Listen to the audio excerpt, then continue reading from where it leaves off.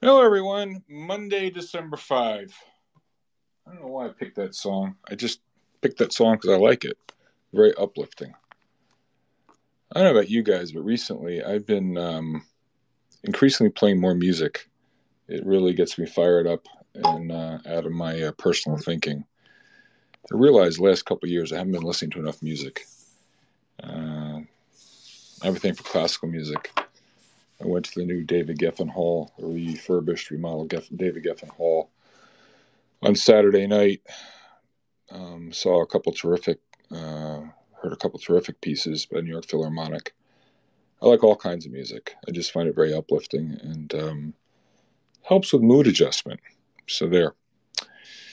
Any rate, we got a great room today. Arjun, I see you're waiting there. I'll bring you in in one second. Um, as is customary, we do our three days from history, and then we're going to get into it. So, number one, I didn't realize this, but on December 5th, 19, uh, December 5th, 1901, um,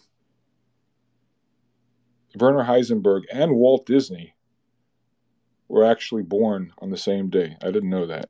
December 5th, 1901. So there, there's your useless factoid of the day.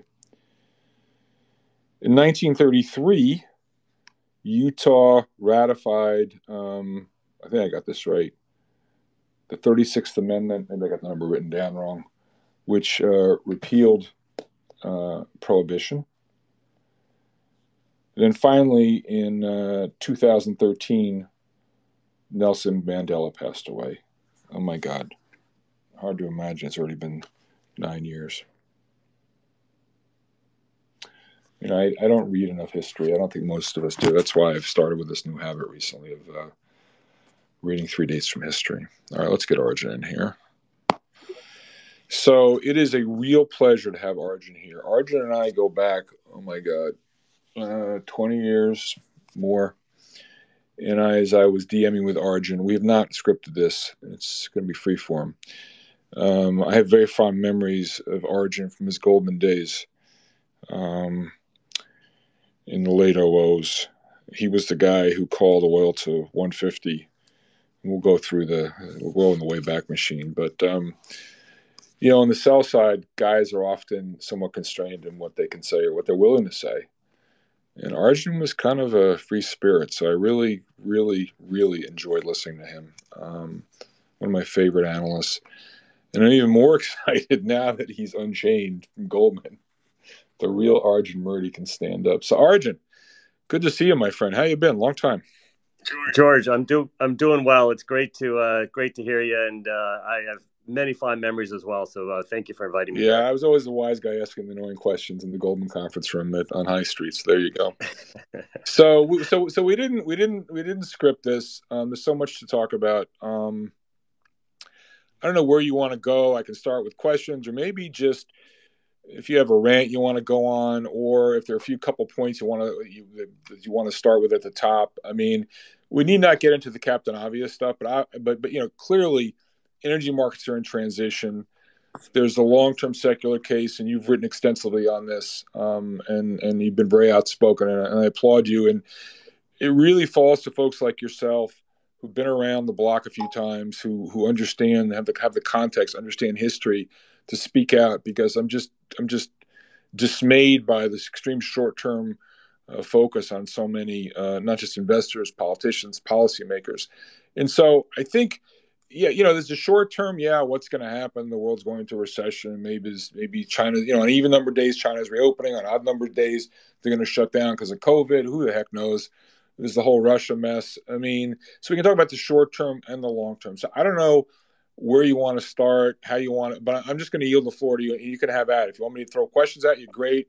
If you have a few opening comments you want to make, great. We've got just so you know, it's the first time you're in this in our space. Just going to warn you, we've got a lot of smart people in this room who has tons of great questions. So, uh, Arjun, the floor is yours. Thanks, George. And by the way, I, I, love the spaces. I actually don't usually listen live. They are available. I do not know if people know on YouTube, and I listen on my favorite podcast app. And you've had so, so many great guests. It's an honor to be here. And you've actually had a lot of good energy guests as well over the last couple months. Hopefully, I, I won't be repetitive, but but maybe just a few thoughts. And, and George, you know, we, we go back a long way. I, I just passed the 30 year mark this past uh, March of sort of being an energy equity research analyst. And the first 22, as you know, were kind of in those traditional Wall Street jobs, primarily at Goldman Sachs. And, and I stopped in 2014 when I got burnt out in the DOR role and uh, took, took a step back, caught my kids in, in, in middle school and high school, which was a real blessing. And I've been in these sort of behind the scenes roles um, in various you know boards and, and advisory positions. And I, I should say I'm here 100% on my own behalf, and all my views are purely attributable to, to myself.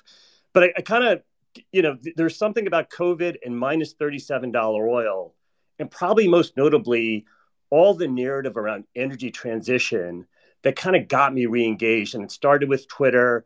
I made friends with Twitter and enjoyed sort of engaging with folks like yourself and former clients. Um, but there's only so much nuance you can have there. So I started my own Substack uh, it's arjunmurti.substack.com. It's for free. Um, and it, it is meant to be both a way to kind of get back into the swing of things, but it's also meant to be educational. And I think just my sort of utter dismay at how, whether it's politicians, policymakers, investors, and, and frankly, energy executives, both in the traditional space and the new newer sectors, how they think about energy transition, I, I just think is just completely messed up for, for lack of a better phrasing. And it doesn't mean my views are right, but I have spent 30 years looking at it. And so maybe I can add something to, to the discussion. And, you know, you, you can get frustrated with extremists on both sides. I'm for sure not a progressive, and I know this is definitely not a, a political um, spaces, thank goodness. Um, but there's plenty of stuff on the right I don't agree with either. And I, and I think when it comes to energy, where are the pragmatic solutions? and and it really is kind of the combination of bad investment decisions by both companies and investors and you have to start there you know made worse by bad policy choices uh, by politicians especially in the western world that kind of has us where we are you know and so I, do think we're in the early stages of a, a, pr- a pretty good period for traditional energy in part because everyone thinks we're transitioning and so you're seeing you know insufficient capital flows, at least so far. You're seeing a perception that demand is going to go away. And for all the reasons that people hate energy, and there's some good reasons to hate traditional energy, that is in part what's creating this, this better background. You know, I think, George, in listening to your spaces, um, it's it's not a straight line up. You know, so for the, you know, this sector is not immune from recession. You know, so I think there is some nuance involved. I, I, I prefer the language super vol environment rather than super cycle if we're, if we're in an era where you don't have OPEC spare capacity and you have pretty low uh, below ground, above ground inventories, and the capex cycle is sort of generally slowish to respond, and companies are paying out dividends and stock buybacks, that's not an environment where you're going to get robust supply growth. But when you do not get robust supply growth, you will get demand destruction pricing. And that, that's a very tenuous thing. So, as we saw last spring, you spike up to 120, 130, whatever it is, and it could be crude oil, it could be gasoline, it could be diesel another time, it could be natural gas in Europe. What it's going to be different products and commodities over the next decade. But the opposite of demand destruction is a pretty painful economic period. And, and the energy sector is certainly not immune from that. So we can talk through this about all the prior analogies. Is this the tech bubble burst where energy significantly outperformed tech? Is it the 73 74 recession, which was at the start of a major, major bull market but energy did suffer in that downturn before it had a massive outperformance in the second half of the 70s. I think that super vol mindset is something I implore sort of investors and companies to think through. And if I could just kind of one final opening remark so much time is spent counting barrels and trying to guess are we going up or down in the commodity prices. Kind of my framework is let's look at the capital allocation cycle because in this business, it is very long term. And, and for me, that's the return on capital cycle driven by the capital spending cycle. So these cycles are 10 to 15 years up, 10 to 15 years down. And simplistically, 91 to 2006 up, 2006 to 2020, the most recent 15 year period down. And that is what everyone remembers. And that is sort of all the mantra these companies destroy capital, sector stinks. Well, it was a 15 year downturn. So, yeah, during that period, they stunk. And that is, that is why investors are saying, don't waste my money. Uh, give it all back to me in dividends. Don't have your stupid production growth forecasts. Um, and all that is contributing to a new capital allocation cycle. So with energy, unlike say tech, uh, whether that's profitable tech or unprofitable tech, energy is never popular. People may tolerate it, people may invest from time to time, but it's never a popular sector. And every time it rallies, the question is, are we at peak? And of course, we're going to have pullbacks, especially we're going to have pullbacks if we're in a super vol environment where you have limited supply demand and you have to demand destroy, you have to destroy demand to, to rebalance markets. That is going to be a very volatile environment. But you can't say, is this a trading peak or is this a structural peak without knowing where you are in the capital allocation cycle? And I would argue we're in year two of what is likely to be, I don't know if it's a decade long, I don't know if it's longer than that uh, type upturn, but for sure, when do when do energy cycles end? They don't end at trough capex. Yeah, yeah. So, so, so right? Arjun, so, so yeah. Arjun, so, so hold on for one second here. Let's just yeah. break this down. So, I'm an energy tourist maybe a knowledgeable tourist, but I'm a tourist. I mean, I'll be the first to admit it. I, I know enough to, to ask you annoying questions, but if you just stand back and think about it, I mean, I learned from you and others over the decades that you know often the attention, as you rightly pointed out, um, is focused in the wrong place, namely the demand side. But it's it's the supply side which which really drives cycles, and it's a and, and, and supply is relatively price inelastic in the short run. And so go back in the way back machine when you started your career, and it was what 20, 25 million barrels of excess uh, production capacity. We're going back, we'll go back to the yep. uh, 80s and 90s. Okay, so we're now down to whatever it's you know a million to a million zero, whatever it is. It's, it's almost all gone. And so, given depletion, given the uh, carbon shaming that's gone on, given how almost every energy executive had a near death experience in the last in the last um, uh, in the last few years. I mean, if you're an energy guy, it's like okay, you know, it, it, it, it's Pavlovian response. It's like okay, fine, I get it. So I don't put another hole in the ground. I buy back stock. I pay more dividends. Number go up, and my stock price goes up. Okay, this is good, all right. And then again, not to get into politics, but when you have the president, I mean, it's just unfreaking believable. The, the, the, accusations are being leveled and the shaming and this, that, and everything else. I'm, I'm on a rant now. So, you know, like the supply ain't coming. So supply ain't coming. And the world doesn't go into depression, and maybe it does. That's that's one way out. Because the only way I, I see that oil prices really don't go up from here is if somehow demand gets reeled in, which which would come from an economic recession. But if you take a big recession off the table, explain to me i'm going to channel my inner margin call that great scene you know with jeremy irons you know. Explain to me how the oil price over the longer term doesn't go up a whole lot. Pretend i'm a golden retriever or a small child arjun. So i'm going to i'm going to agree with a lot of what you said but not everything. So um, in in a world where we do not have sufficient capex and you do not have spare capacity which you correctly highlighted and you do not have above ground inventories you don't get to have robust economic growth. Um, and I don't, you know, um, we need the capital spending cycle to come back in a major way. Uh, and, and in fact, we are, you know, barely off the lows at this point in time, despite what has been a much better return on capital environment and a much better price environment. And so um, the idea, and so this is where I, I think the Super Bulls do have to be careful because both supply and demand are highly inelastic you'll you're going to have to keep this market in balance through regular recessions and regular periods of economic weakness. You do not get to demand something that doesn't exist. And you're 100% right, George. There's always been a pretty significant spare capacity cushion in the OPEC countries.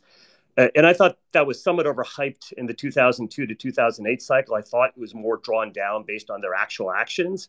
And I've always held countries to the standard at some point you actually had to have produced it, right? So they would sometimes declare spare capacity well in excess of what they'd ever produced. Um, but now they don't even pretend that they have the spare capacity. Even countries like uh, Saudi will say it's it's pretty pretty minimal without more capex. And so if you do not have capex, if you don't have supply, you don't get to have demand, right? And th- this is the big thing I think people get wrong versus other sectors. If iPhones are sold out for whatever reason, what do you do? You wait till they're back in stock and maybe that's three months, maybe that's six months, or maybe buy an Android phone. And that's true for every other product on earth. If it's not around, if if BMWs are sold out or Teslas or whatever, um, you can wait or you can buy something else. That is not true of energy. If, if it does not exist, um, you cannot live without it. You can't live without it for five seconds. And those are, the, I think, the regular price spikes we're going to have. But the flip side of that is you would expect to have regular pullbacks and economic contraction because it's untenable to be in a sustained demand destruction world. So, so, so, if if you think about the logical fallacy here, the idea that you know we're going to have okay growth and oil prices, there'll be oil prices won't go to the moon, and there'll be plenty of supply. Like, I mean, this that's just that's just logically inconsistent. You don't get to have that environment until you have capex at least double, if not triple, from oh, an industry-wide oh, oh, standpoint. Oh, oh, okay, okay, okay. So, Arjun, one, yeah. one of the numbers I, I go nuts on, and actually, you should put this in one of your Substacks. I'm not telling you what to do, but whatever. I think it's a really great number. So, Arjun, just help me with this. What is total capex, energy capex in the U.S. Is like 100 billion or something like that? Do you know that number by chance? Yeah, I uh, in fact I wrote about it uh, just this weekend for like a universe of like 75, 80 companies. Uh, your capex is it's probably going to be pushing uh, 150, 200 billion dollars. That's both oil and gas. And I'm sorry, that's actually going to be a global number of a universe of 80 oh, companies. So okay, okay. Yeah. So globally, we'd say energy capex maybe on the outside it's 200 billion. That'd be the lion's share of it. Right. Yep. Okay. Okay. So what I like to do actually, he could probably call some of your ex Goldman pals. They they they they will. Um, they will get they can get you the numbers. But you should do a calculation. I've said this so many times, causing trouble in these spaces. I'd like to know compare that to the how many tens or hundreds of billions or trillions of dollars are spent on Tesla call options or daily S and P options. I mean, you know, Arjun, think about it. Talk about misallocation of capital. We become a nation of speculators. I mean, what we need to do is have guys put more more holes in the ground. You know, all types of extractive industries. So coming back to your point, though, like if you're an energy executive, like I hear what you're saying, you're not going to get supply unless we get higher prices. But well, put it this way: we need more supply. How are we going to get the supply without prices going to the moon? I mean, it's not rational for any energy executive to go out there and put another hole in the ground right now. I mean, they're they're they're they're they're, sitting in the catbird seat, right? So so walk me through different scenarios you could envision of how we're going to get to where we need to get to without a big disruption. So so this is a sector that the returns on capital went from the mid 20s in the 2006s which i would note 2006 was two years before the actual peak of 2008 so the capital cycle spending cycle already started to overwhelm prices and returns as as early as 2006 so the that, that super spike era as i called it was 2002 to 2014 and 2014 is when it famously famously crashed after thanksgiving from 100 to 50 but the return on capital peak was actually 2006, and you had tripled, quadrupled capex uh, in terms of what we were doing in the late 90s, early 2000s to that middle of the decade type time frame. We are obviously far from that today, but we have the kind of returns on capital, mid 20% today, that would normally suggest a much more meaningful capex response. So why, you know, why aren't we having that? Um, and you know that is that mixture of it hasn't been here long enough if you just if you had 15 years of bad returns and the return on capital from 2011 to 2020 was 0% george zero. Now maybe interest rates were zero and we had qe unlimited but zero is a really low number. Yeah rj um, hold on so hold on. yeah. say that again slowly. Return was zero from when to when? 2011 to 2020 for a universe of oily E&Ps return on capital employed was zero. And keep in mind the oil price averaged 50 to $55 a barrel. That was the kind of price that they said at 50 to $55, we can generate 30, 50, 100% rates of return in shale at the well level. That translated, they got the price environment they actually forecast. That translated into a 0% return on capital. So we're on the other side of that now. Investors said, hey, you promised 30, 50, 100% rates of return at $50 oil. You delivered a 0% return on capital. You are not going to waste my money this time around. And they they have also learned that lesson. So the, the time so the, the question is not what price you have to go to. The, the question is really how long do returns have to stay at the 20 to 25% level that we're at today in 20 in 2022 returns on capital are going to be 20 to 25% for this sector. How long do we have to stay up here to motivate a capital spending response? And it has started, um, but it's the kind of thing that typically takes a decade plus to get going. Well, Arjun, let me so hold on, hold on, hold yeah. on, hold on. You know, history doesn't repeat itself, but it rhymes. And if we were in a, an environment, uh, by the way, I'm not giving you a wise guy pushback. I just want you to reflect on how it could be different.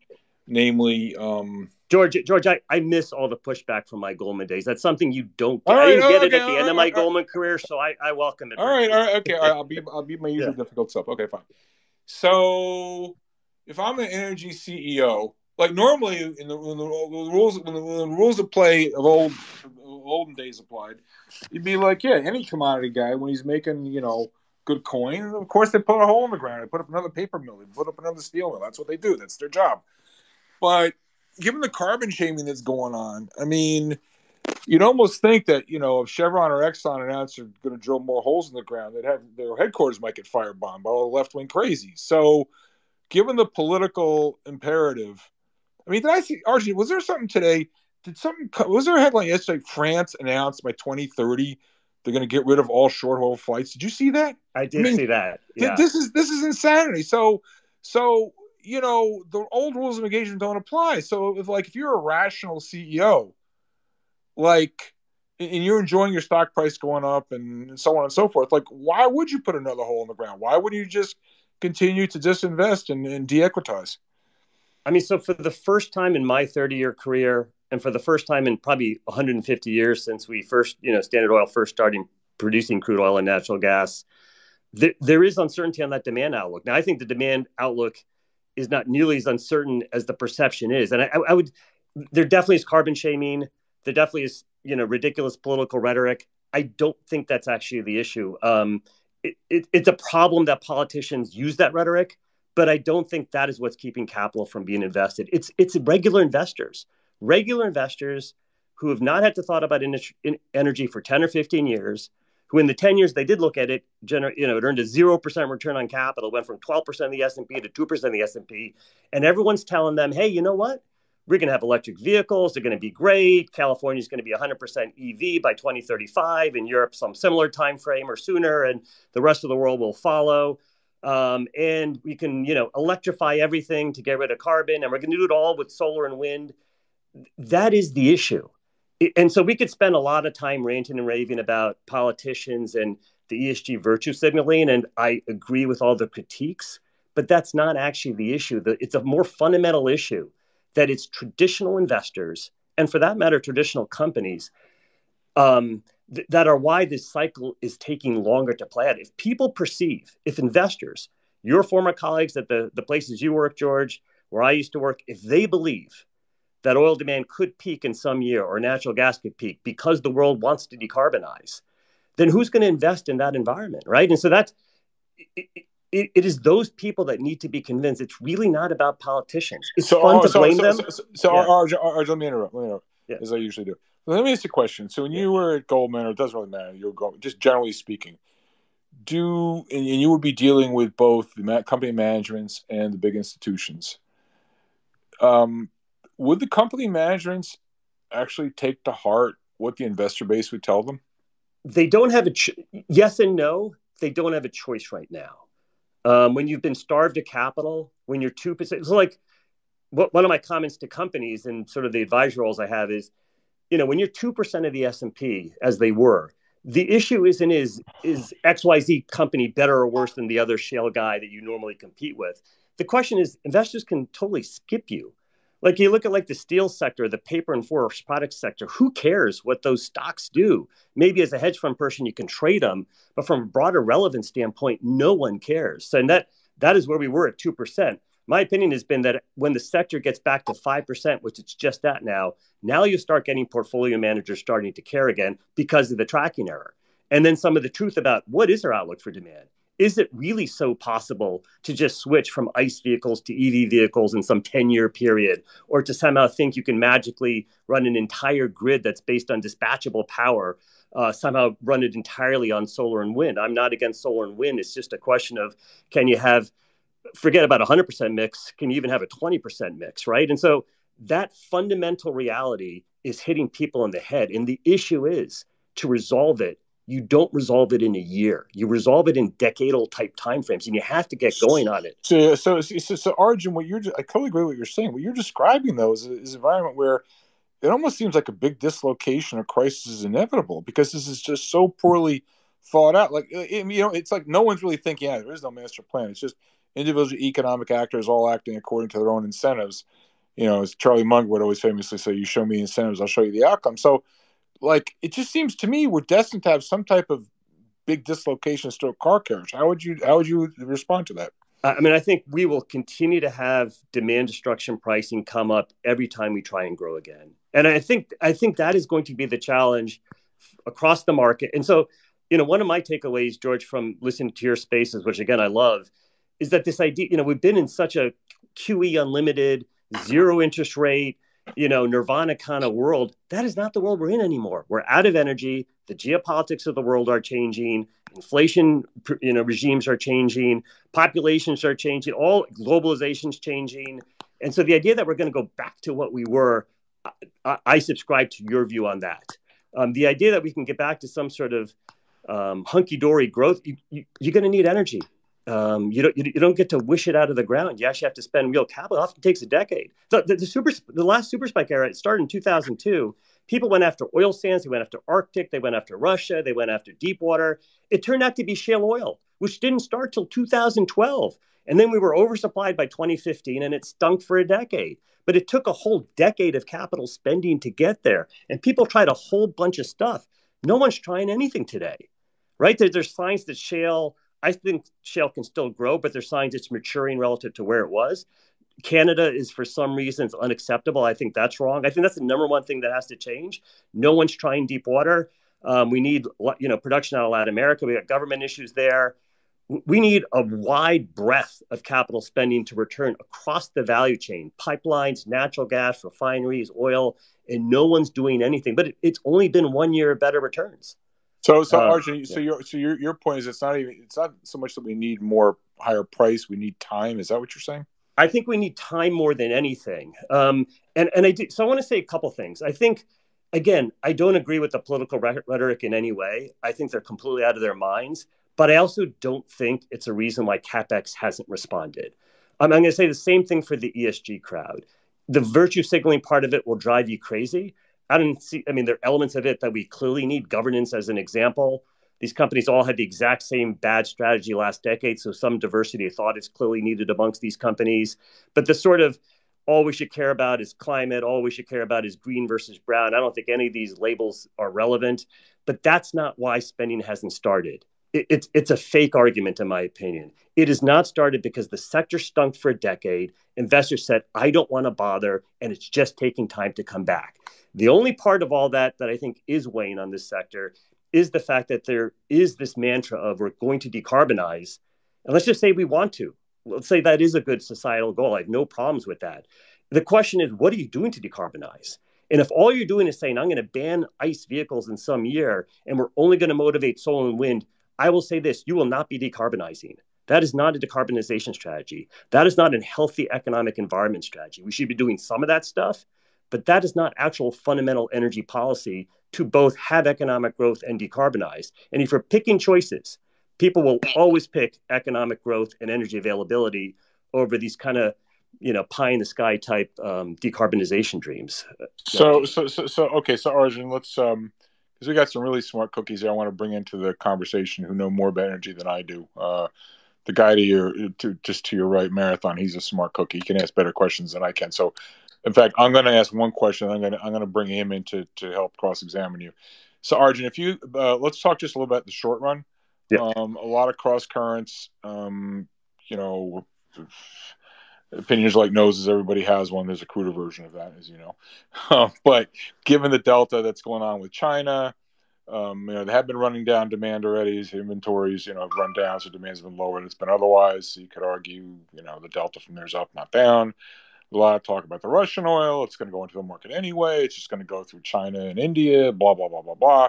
But obviously, a lot of the keyboard monkeys that key off the uh, the short term price. And I know, you know, trying to trying to predict oil prices is a fool's errand. But if you were going on your roadshow and came up to Boston, you had to be, you know, people say, "What do you think of the stocks?" And you'd of course would have a handout showing the short term question on oil as well. So talk just. To, I mean, we've covered the long term. Maybe just talk a little bit about the short term. And then, and then conclude with what you think for the stocks, and then I'm going to turn on to over to Marathon. Arjun. So, um, the, the the more confident one is in a in a deeper global recession, that that is not an environment that's ever good for any equity and oil equities or equities first and foremost, right? Then the question is, you know, what are the parallels one might look to? And so you look at something like the tech bubble burst, which there's clearly elements of today that feels like that, the unprofitable tech, the ARKs, and so forth. NASDAQ's down 77% from its peak to some date that I picked. Energy was down 17%. So energy still fell on an absolute basis, but it did significantly outperform the market. If you look at the 73, 74 deep recession, again, there's a lot of this environment that feels like the 1970s. I was alive for it, but not as an active investor. I do remember waiting in the odd even license plate lines with my parents as an example. But energy did do poor. The energy went down with the market in that brutal 73 74 recession before it really took off in 75 so for, for, for those of your listeners who are more on the deep recession is coming um, then i think it's just a question of how far does energy fall and is it does it relatively outperform or does it go in line with the market? I, I, I don't agree with the viewpoints that somehow energy has significantly outperformed here and therefore it's going to underperform the broader market because energy is one of the constraints out there and every time we try and grow again um, I, I, think we're going to be put up against um, you know a new price upcycle. For, for those not in the deep recession camp that, then to me it's clearly a buy the dips type environment. So if s&p 4100 was a near term top i'm sure we can pull back. Um, you know we're in an environment where people are acting like energy is going away as a sector in five years. If you look at free cash yields, if you look at what kind of returns on capital you're discounting, people kind of believe that decarbonization is going to happen in a really short time frame. So whether you can have a view where, where you know for sure it is or isn't, maybe someone can't have that confidence. They're discounting some notion that oil demand is going to permanently peak in, in the late 20s. And I, I will take the over on that at a minimum as a risk reward. Got it. Right. All right, so let me start with my inane questions. Uh, I'll come back. Don't worry, I'm, I'm not going away. I want to, I want to, I want to actually turn the floor over to Marathon. And Marathon, uh, good to see you. Um, maybe you could take over the discussion actually, because you're much more uh, knowledgeable. I think you got, you probably know each other. So Marathon, the floor is yours. Hey, George, thanks a lot. And look, there are a lot of smart people on this uh, on this call who are very uh, energy conversant. So, uh, but I'd love to ask a few questions. Arjun, great to, to catch up, and just really appreciate the contribution you're making to uh, the energy dialogue out there. So much of it is, um, uh, let's just say, not grounded in fundamental. Uh, you know, uh, the supply demand or the realities of the physical constraints. Um, and so I just, I, you, you've done a really, really good job uh, of, of, of being a, a, great contributor to that conversation. Thank you very much. And we, we do know each other. I don't know if you go by just the marathon name, but um, I do thank you. And I appreciate all your contributions as well. So. Okay, great stuff. So, first question is, what do you think? Where do you think we are in the trend for return on capital in the shale patch? We're kind of going through this Goldilocks period right now, where we've got high prices, relatively low service costs, You've got a lot of the drilled uncompleted wells that people have worked through. So return on capital has been very high. Where do you think it trends from here, given sort of quality of acreage decline and service costs probably on the margin picking up here? Where, where are we in that evolution? I mean, this is where I think, I mean, this is where I think um, investors are going to have to be company specific if that's what they want to do, right? So I, I look at things more at an XLE or broad sector level and then you know, obviously I talk to and deal with individual companies, but there's no doubt that shale acreage uh, is not homogenous. It never has been. I mean, frankly, that was one of the problems with the old paradigm of the well IRRs are 30, 50, 100%, but somehow they're only generating a, a 0% corporate level return. There is much more heterogeneity to begin with. Um, and all the factors you mentioned were coming off a low on service costs and so forth. Um, you know, so I, I think a lot is going to to to be differentiated at the company specific level. And I think when so something like M&A is going to be inevitable for this sector. It is a depleting asset by nature. And so for every company, there is a there's a constant need to add resource if you desire to be a going concern. Not everyone should be a going concern, but usually most companies try to be. I, I, I think that's one of the jobs investors are going to do. Not not all these companies uh, clearly have the inventory running room to perpetuate what are competitive advantage returns, but some do. Uh, and I, I'm going to probably refrain from individual names here, but I think there's plenty of smart people and there's plenty of good services today that that help differentiate that. I think the days of can you have a million barrels a day of shale supply growth like we had 2015, 16, 17, in that type of environment, those days do seem in the past. And there probably is some combination of spending and price that could technically get you back there. I think the idea that it would be sustainable, um, forget about whether investors would completely throw up on it or not. Um, I suspect those days are in the past. Now, the, the, the flip side is it's not obvious we can have sustained economic growth in the absence of having global supply growth. And so, so I think that becomes a, a, a, trickier calculation. One of the pushbacks I get is sort of, hey, returns on capital are now 25%. Isn't that well above what these companies have historically done? And you would say in a commodity business like oil, over 50, 100 years, you would expect return on capital to about equal its cost of capital. And let's just call that 8 or 10%. It's not the 0% QE unlimited type environment. Um, but honestly, it's probably not much better than that either. But but through that sort of structural cost of capital, return on capital equals cost of capital, you're going to have cycles, and those cycles are 10 to 15 years up, 10 to 15 years down. So it's not that I think 20 to 25 percent of return on capital is sustainable over 50 years. It's not. There's no way it is. It will attract capital. Investors love to make money. And that's why I think ultimately this isn't about ESG. It's about traditional investors coming back to the sector and recognizing you don't get to magically decarbonize just because some portion of the country thinks you can do it through fairy dust, right? And so, how long do we stay here? Um, and, and, I suspect we'll be in the 20% kind of returns on capital level, you know, for the foreseeable future. Now, if you tell me there's a deep recession next year, including China and the United States, oil prices could fall on a short term basis, return on capital could fall and the sector would expect it to be down. So, what I try and look at is how are returns on capital trending relative to underlying oil prices? Are you doing better or worse than that? And for individual companies, it's going to vary a lot. If you've done a bunch of quote bolt on deals that somehow are still multi billion dollars, not sure when that became the bolt on category, maybe that says something about your inventory quality, maybe it doesn't. So, maybe as an individual company, you could be going off that line of sort of return on capital relative to a level of oil prices. But for the sector overall, when we're at trough capital spending and when we're at trough reinvestment rates, that points to the underlying return on capital trend relative to oil prices continuing to be in a favorable environment. And in my note this week weekend, I said you probably need to somewhere between two to two and a half x capex from where we are today before I think you'd start worrying that again that underlying trend of return on capital relative to oil prices uh, starts going starts going against you. And, and so whether, whether is that three years away, five years away, ten years away, it's at least one year away, and probably more like five years away. I hope that's clear. Right. Abs- absolutely and totally agree. I'm going to ask one more question, and then I'm going to have Chapman uh, ask his question because he's got his hand up. Um, I, I, think, as you have mentioned, there are a lot of impediments to getting this capital flowing back into the sector. Um, and you've discussed sort of the the, the variability of, of, politics, which you know one can debate how much that's had an impact over it.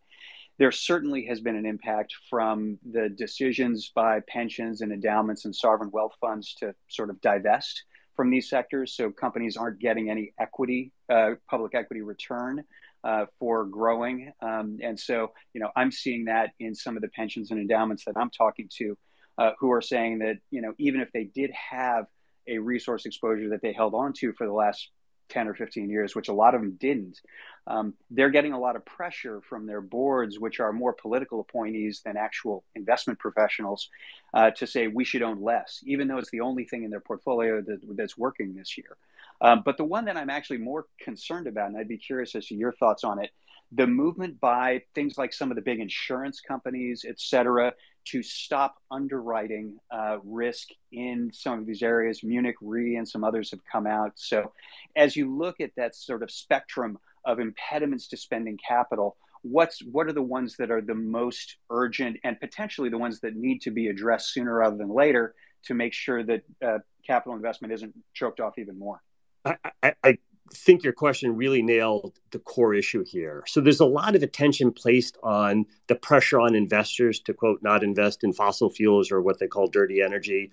And I personally disagree with the divestment movements. I think you know denying people energy when as i know you know there's a billion people without any energy there's 3 billion people who are energy poor denying them any form of energy is frankly completely immoral and effed up if you ask me but but but someone could still have a different view on that and i do think investors will by and large come back to the sector because the profitability is going to be good and, and the, the returns are there and capital spending is low and reinvestment rates are low, low. And so we're early in the capital allocation cycle for this sector. So I don't worry as much about traditional investors because traditional investors want to make money. And if their portfolios underperform because of underallocation to energy, they absolutely will come back. And it is a slow slog to go through the proxies, et cetera, et cetera. And I think there are so many different investors out there uh, that it's really hard to get them all to do one thing. That's a different story for the group you're talking about. What I would be most concerned about from a energy policy standpoint is there are only so many insurance and reinsurance companies out there. There's only so many major capital markets providers out there. And if you look at things like the Glasgow Alliance for Net Zero, I'm going to get the acronym wrong. There's some, you know, mushy language in some of those documents that don't sound particularly bad. But when you see Munich Re decide to uh, stop reinsuring oil and gas fields starting, I want to say in 2020, they're totally entitled to do that. They're a private company. And there may be many reasons why they do that. I'm not a reinsurance company analyst, and so others may have more insight. But if you read, the, if you take their statements at face value, including their press releases and the documents they refer to, they cite a decarbonization goal and a need to be, you know, Paris aligned and the Glasgow uh, Alliance for Net Zero as some of the reasons why they took that action. That is deeply disturbing. Um, we, we, if you're going to take away insurance, reinsurance, and capital markets providers, and we've not seen this spread to the big banks, but make no mistake, they're under tremendous pressure. It becomes a very slippery slope. Um, will the sector have enough internally generated cash flow to do all this stuff on their own? Probably. I mean, we're not looking for them to start taking on new debt and do other things, but you need insurance and you need reinsurance. And maybe the largest companies out there can, to varying degrees, figure out alternative actions or they may not need you know all of the support from these markets but that's not going to be true of mid and smaller size companies. It is a it is a very very troubling trend. Now um, if if if this is an investment space as opposed to a policy space and i'm pretty sure it is an investment space then all these kind of actions are ultimately bullish for the sector right it's a it's what i will use the seinfeld analogy it's a bizarro world sector what's good is bad and what's bad is good so people can hate on current politicians in the United States all they want, and I might agree with it or I might not agree with all of it. But all those policies that restrict, deny, divest traditional energy ultimately elongate the period of good returns on capital. Um, on the other hand, um, and in my roles where I do sort of care about energy policy and I do deal with those kind of folks, I would be most concerned not about the ESG investor crowd, but about the major reinsurance, insurance, and capital markets providers and what happens to them. Munich Re is a first serious shot across the bow, um, and I, I, think I think for humanity's sake, people should be deeply concerned about that trend. We all need energy. Rich need energy. The middle class need energy. The poor need energy, and of course, the super poor don't currently have energy. Uh, we, you can't have these major companies going away. That is a that is a very unfortunate trend. Amen, brother. Amen. Thank you. Uh, all right, I'm going to go ahead and let Chapman uh, speak. Go ahead, Chapman. Unmute yourself, and uh, you have the floor. Uh, good evening, uh, Arjun. Your thoughts on demand destruction pricing, I think, was uh, fairly insightful in a way that I hadn't quite thought about it before. And my question to you is: Do you think that some of this demand destruction pricing, you know, that we're going through, might be somewhat by design. Basically, are policy decisions by authorities, governments, whatever have you, being made around this idea that, hey, we're not going to need any more oil. So if it causes a little demand destruction when the price goes up to a $100 and we have a little bit of a, a recession, so be it. So I, I, I do think there are some folks who would be in the camp that, hey, $300 oil, $200 oil, whatever high number you want to make up, um, yeah, everyone's going to complain about it, but at least it'll mean that, I mean, so I, I honestly believe it's a very small minority of people that, um, that fit that bucket. It, it may seem like a lot when we read the rhetoric of politicians, including in major parties and so forth. But I think the true number of people that are in this sort of degrowth environment, if you will, is frankly quite small. I think the, the bigger challenge is, I think, being way too optimistic and how easy it's going to be to decarbonize through new technologies. And again, the failure of what I think are the is the ideology around current technologies and thinking that's going to be suffice. Hey, If we're California and we ban ICE vehicles, then by God, everyone will simply drive an EV. Now, listen, I happen to drive an EV. I, have driven a, a, an EV for the last seven years, and I love it. And I'm also a retired partner at Goldman Sachs. So I'm a very fortunate individual that I can charge at home and that I can afford the EV in the first place. That is definitely not everyone's position out there. Uh, you know, and, and so the idea that we have either supply chains or batteries or all these things, like so there's a whole bunch of magical thinking around decarbonization. Like, what are the, you know, what are the things you're going to need? Uh, you, would actually need real fuel economy standards, not the fake ones that we've missed by 90 to 95% over the last 20 years, really since the 1970s. Uh, you, you, are going to need um, you're going to need nuclear power as an example. You're going to need firm, reliable, dispatchable power as just two examples of things you might need. Uh, and, we, and you know, I could go on for a long time about that. In terms of demand destruction pricing, I do want to make one other point. It's it's not a price. It's not $120 crude is the demand destruction price, or 150, or 200, or any other number. It is going to vary. It's going to depend on the totality of all your conditions. We did get to 120 this spring, and it does seem like demand came off. But that doesn't mean that is going to be the demand destruction price next time. If the economic conditions are weaker, maybe it happens at 90. Or if economic conditions are stronger because China isn't shut down like they were last year. I mean, imagine that. China's actually been sort of shut down. If China's not shut down and India's still going, maybe it's a much higher number. And again, maybe it's diesel this go around, maybe it's natural gas. European natural gas prices, I think many people appreciate, got to five to six hundred dollars a barrel. And guess what? they destroyed demand. Who wants who wants to go to 500 600 dollars a barrel every time? That's what the European gas price got to. And now it looks like they have a decent chance to get through at least this winter. What's the price going to be next winter? Maybe it's lower, maybe it's higher, but it varies. You know, and so I think that super vol mindset is very important. And it's probably the biggest thing that I I don't want to say I would push back against sort of the the structural bulls because I think we have a lot in common. We frankly have far more in common than not in common. But this concept of sort of extreme volatility is going to be here, and I get it that public equity investors do not like volatility it's it's not a question of liking it or not liking it. It simply is going to be, and it's going to impact every other sector. There is nothing we don't do without energy. It is it is part of everything, and we all take it for granted, including most of Wall Street and including most energy analysts. And so, um, sorry for going on there, and hopefully I sort of answered your question. So, if Great stuff, Chapman. Do you have a follow up? Uh, not at this time, but uh, yeah, you you you hit where I was going with, which was uh, what do you think about the degrowth and how are and where are they? I, I think so, degrowth um, is a um, disgusting, disgusting philosophy. You know, when when there's still so much of the world that does not have anywhere near what we have. But it, but I will say that I actually think that's a minority of people. I, I even even if we look at major political parties in the U.S., I I, I would not say major political parties are for degrowth, even if sometimes we don't like the rhetoric or we think it's dumb or we think it's off base. I, I, I don't, you know, people may be misinformed about how easy transition is, but I'm, I'm going to be optimistic and say the true number of people in the degrowth category are relatively small. Um, and maybe they just get more attention because of social media these days. That, that's my experience dealing in the policy circles. Great. Looks like we got a question from uh, Gnostic. Gnostic, you want to uh, take the floor, unmute yourself? Okay. Uh, nice to hear from you. Uh, I have a question for you. It sort of tags on to what you were just discussing off Chapman's question, and that's the economic dislocations that are becoming that are coming because of the decarbonization process and the expectations that if you're going to decarbonize, we're not going to do investments is causing oil companies to back away. But what other areas do you think these dislocations are going to occur in, and what sort of distortions do you think will come about?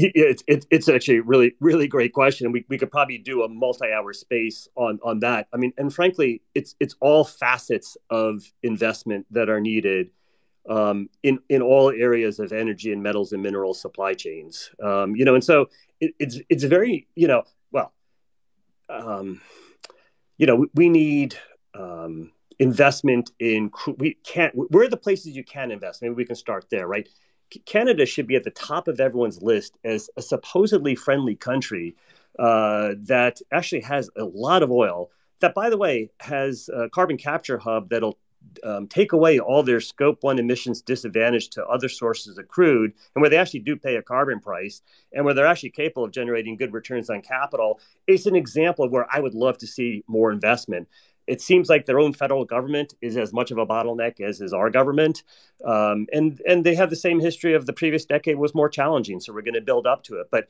Canada is an example of a place where I think more investment is needed. Clearly, global gas is going to be a huge area of investment. So f- first, let's just I'll try and be brief here because I don't want to be boring. But you have transportation markets, right? That is ultimately going to be crude oil driven products or miles per gallon or electric vehicles. And frankly, it's a mixture of all those things that are needed.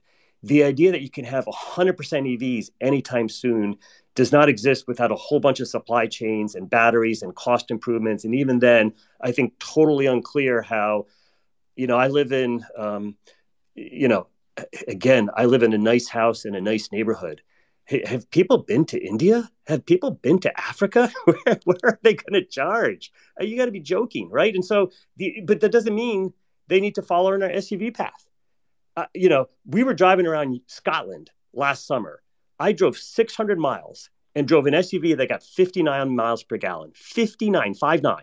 And I think it had less pickup and the engine size was smaller. And there's probably other reasons that any automotive analyst could probably explain to me. That's not the experience with our SUVs here, right? So there, that's an example of a policy change we could do and would be more impactful um, than saying you, are going to ban, uh, you know, ICE vehicles by some year.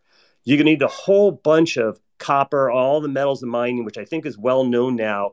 All these kinds. Of, we're going to need a nuclear investment cycle. that, that is going to be very long term, uh, given that we do not incentivize right now reliable power. Right? When you think about the power mix, originally nuclear went out of favor in the middle of the last decade because of natural gas. If we treat power as sort of a marginal cost analysis, where there is no cost for the wind or the sun, or even natural gas prices can always be low, then that's not an environment where you're going to have lots of nuclear. And, and but if you want to decarbonize, then you're going to have to figure out how to change it. I, I am not a power markets expert. That is for a different analyst uh, in a different spaces. But I just simply make the point that it is overwhelming what we need to do. That doesn't mean it can't be done. We, have provide we've the, we've had miraculous economic growth over hundred years. We have the most people living on Earth now. We are the most prosperous we've ever been because of energy, and it's all forms of energy. But obviously, historically, it's been crude oil and natural gas. The, I do think people are starting to recognize. I've heard it, including as recently as this afternoon, the idea that you only only want to do solar and wind is ridiculous, right? And so even people who you might think are left of center or this or that or whatever label you want to put on them, I, I do think there's a growing recognition. And then the question is, how do you motivate nuclear? And, and, and you may not be able to, or it may be very challenging. That's the role for natural gas then, right? So nat- we need to clean up methane and natural gas. I support cleaning up methane. That is something I think environmentalists are 100% correct on. And I think you can do it with a reasonable cost and reasonable technology. So natural gas will be part of the mix. So we, we need lots of everything. And you have to start at some point. But I want to be clear we will invest in this stuff. The world will not tolerate being without energy. It's, so my call is not, it is up and to the right for the rest of time. That was never my call at Goldman. It is not my call now.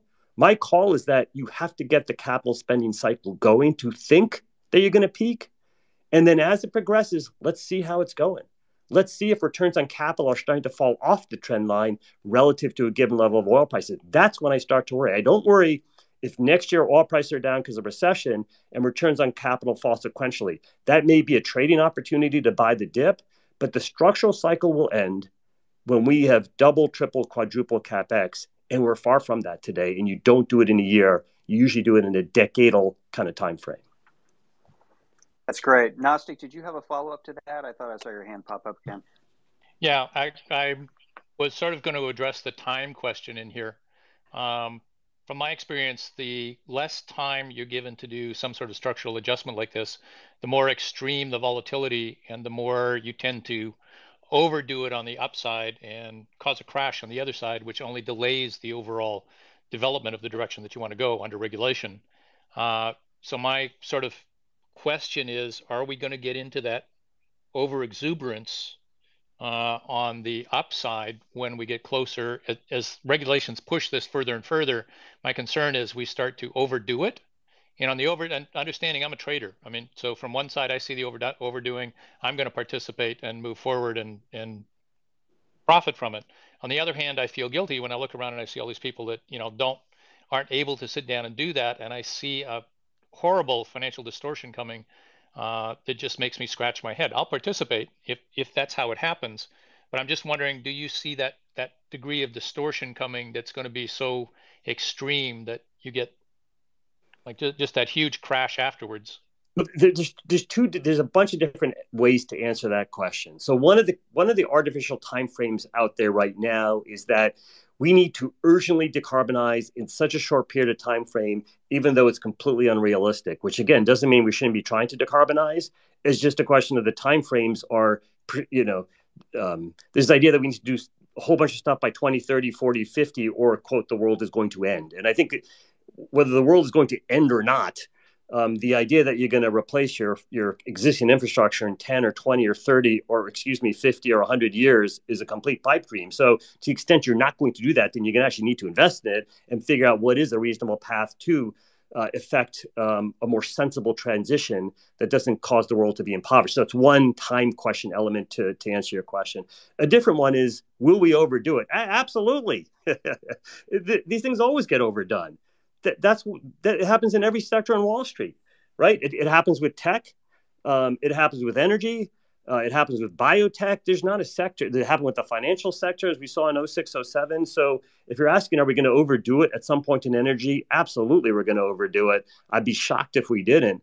Um, I would just simply argue that we're at the beginning of trying to get it going in the first place. And so the fact that it merely outperformed in one year after having after having again, in part deservedly gotten crushed for 15 years, I don't think is anywhere near, quote, overdoing it, even if we can trade off in the event of a recession next year. And so, listen, it's a commodity business.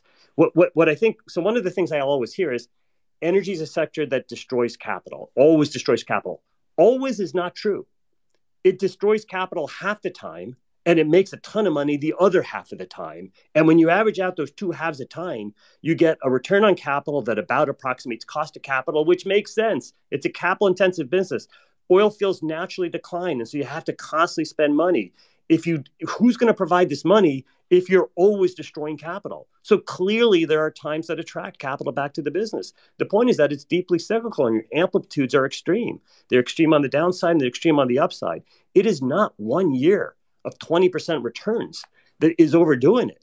Now, could it be five years or 10 years? That's that's probably the time frame to look at. Could it be 15 years because people are so psychotic on the policy side? I suppose, but the bad policies will not persist because people will not tolerate, rightfully so, not having energy supply. No one is. I know my children can't tolerate the internet being out for five minutes. Again, there's a billion people who don't have that luxury. Um, but for the you know, the, the, daily active users for energy is 5 billion. There are 8 billion people on Earth. Your daily active users are 5 billion. Those 5 billion can't look at Europe, right? The, the, the, greenest place on Earth. What are they burning? Lignite coal in Germany, right? So, so the, the, the place that is supposedly most committed to decarbonization is burning the dirtiest form of coal. How, you know, what, why is that? Right. And, and so that, and that's true. So we will overdo it we're we're so far at the other extreme right now that that's not a concern at this moment for me. So so so, so Arjun, you know, I'm listening to you. On the one hand, at one point I was like, "Oh, wait a minute, this sounds really good." You're like, "We need more time. It's not price. We need time. That yeah. we need the we need we need this sort of profitability to last for a few more years." So I'm thinking, okay, well, if it's not a flash in the pan, and then maybe people will start to give these companies more credit in terms of the valuation or multiple. But then the next breath, you're like, oh, we're going to get volatility. And that's like, that goes the other way. So when you think about energy stocks, I mean, what does that mean? I mean, to me, the equities look, you know, very cheap. Um, but you're buffeted about. On the one hand, you've got the long term bullish case, um, and, and, and, the valuations don't reflect that structural profitability. But on the other hand, you have all the tourists are like, oh my God, the price is going to go down. Yeah, oh, it is true. It is true. If we get a recession, you know, all things being equal, which they never are, it's not good for oil prices. So when you when you put that in the blender and shake it all up, like where does it what does it leave you leave you with, with the stocks? You put it another way, you know, if if you were if I came to you and said, "Here, Arjun, here here's a hundred dollars, please invest it." Um, you're the energy guy. You know, would you want to be just partially invested, or you know, i.e., you think you're going to get a better better entry point once the short term volatility goes out the way, as everyone's holding their breath to see if we have a recession or not, or would you put a little bit in just because the long term they're so attractive, or like how would you how do you think about investing in this sector right now if you were actually for I asked the question now not to put you on the hot spot, but for the average investor in the room, I mean, we have a lot of energy um, uh, fans in the room uh, you've probably heard from some of our past spaces there. There's a, and by the way, I'm gonna I'm gonna lobby. Um, uh, I see Abe is in here and, and some of the other characters.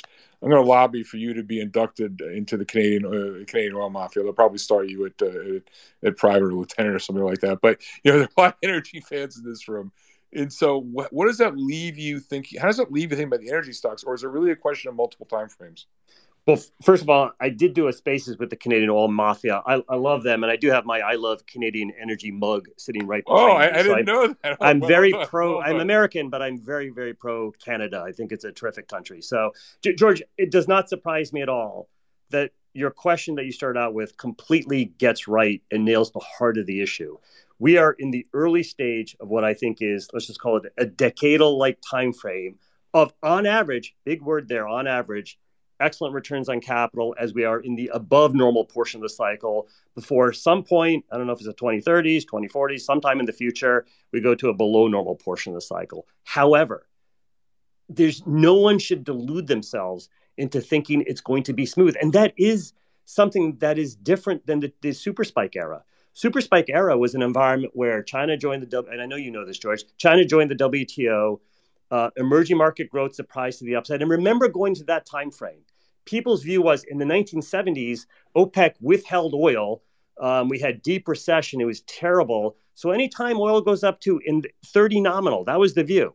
Um, we're going to have a deep recession. And people's opinion was if oil ever got to 50, and remember, oil was 15 to 20 throughout the 1990s, that the only we go to 50 if Saudi was destroyed. And we, we did a bunch of work at Goldman, and our original super spike call was hey, from 1981 to 2000, energy underperformed the economy for 20 years. And so to really have the same kind of impact, you had to go to at least 50 to maybe as high as $105 a barrel. That was my original super spike call. But that environment was smoother. It was smoother on the capital side. In that environment, every company, including the super majors, Texaco, Mobil, uh, Elf Aquitaine, Total, Shell, uh, all of them, they all had at least 3% and in most cases 5% growth objectives production per year and all the and all the E&Ps had even higher numbers. And we did the, our top 50 projects report at Goldman. First year we forecast 4%, it came in at zero.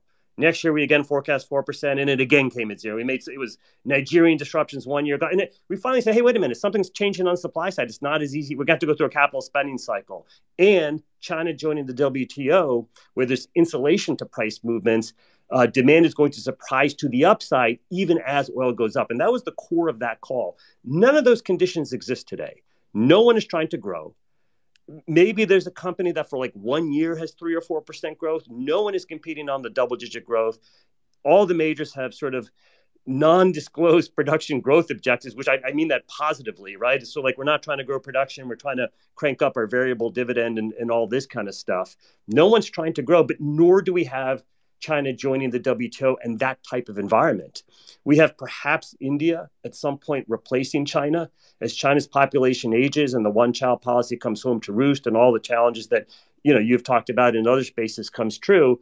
Um, yes, they're going to come out of lockdown, and that's probably good for 2023. So for the traders on the call, there's some call there. But I, am not counting on China to have the kind of structural growth like they had in the 2000s. But nor do we have either the OPEC spare capacity or the attempted supply growth that people tried last time. So it's a different environment for, than than that cycle. And again, the idea that we're not, I don't think people should be hoping for some some future smoother time. And so, you know, George, I, I don't charge for my Substack. I do generate some income from my various advisory and board roles. And again, I'm not speaking in any relation to any of that tonight. But when it comes to my personal investments, I do look at it like we're not in the Q- QE period anymore. Um, we're not in the you know in the period where I want to own a whole bunch of unprofitable tech companies. And we had a Goldman reunion uh, last week with my my former colleagues who used to work on my team, and I, I had ARK going down to twenty seven dollars from and a year ago was ninety seven, and that's thanks to you, George. So you helped me with my GS reunion stock pick. It's at thirty six right now, so I I got closest uh, closest to the mark there. But the, idea that we're going back to the that environment, I don't think so. Um, you know, and so a decade for uh, you know 2030 will I look back and say, I'm glad I kind of bought and held energy? Yes. But not everyone has that viewpoint. I'm judged by my children and my wife, right? I'm not I'm not judged. I don't manage a public portfolio or anything like that. I think people should expect volatility and figure out how they want to deal with it. It could be by the dips. It could you had a, person on here a couple months ago. I think Michael Belkin was named. He had a terrific short call, I think, in May or June. I do think that was a trading call. Uh, and that was a good trading call at the at the time. It Stecher fell quite, and so people want to do that. They can do that not my thing.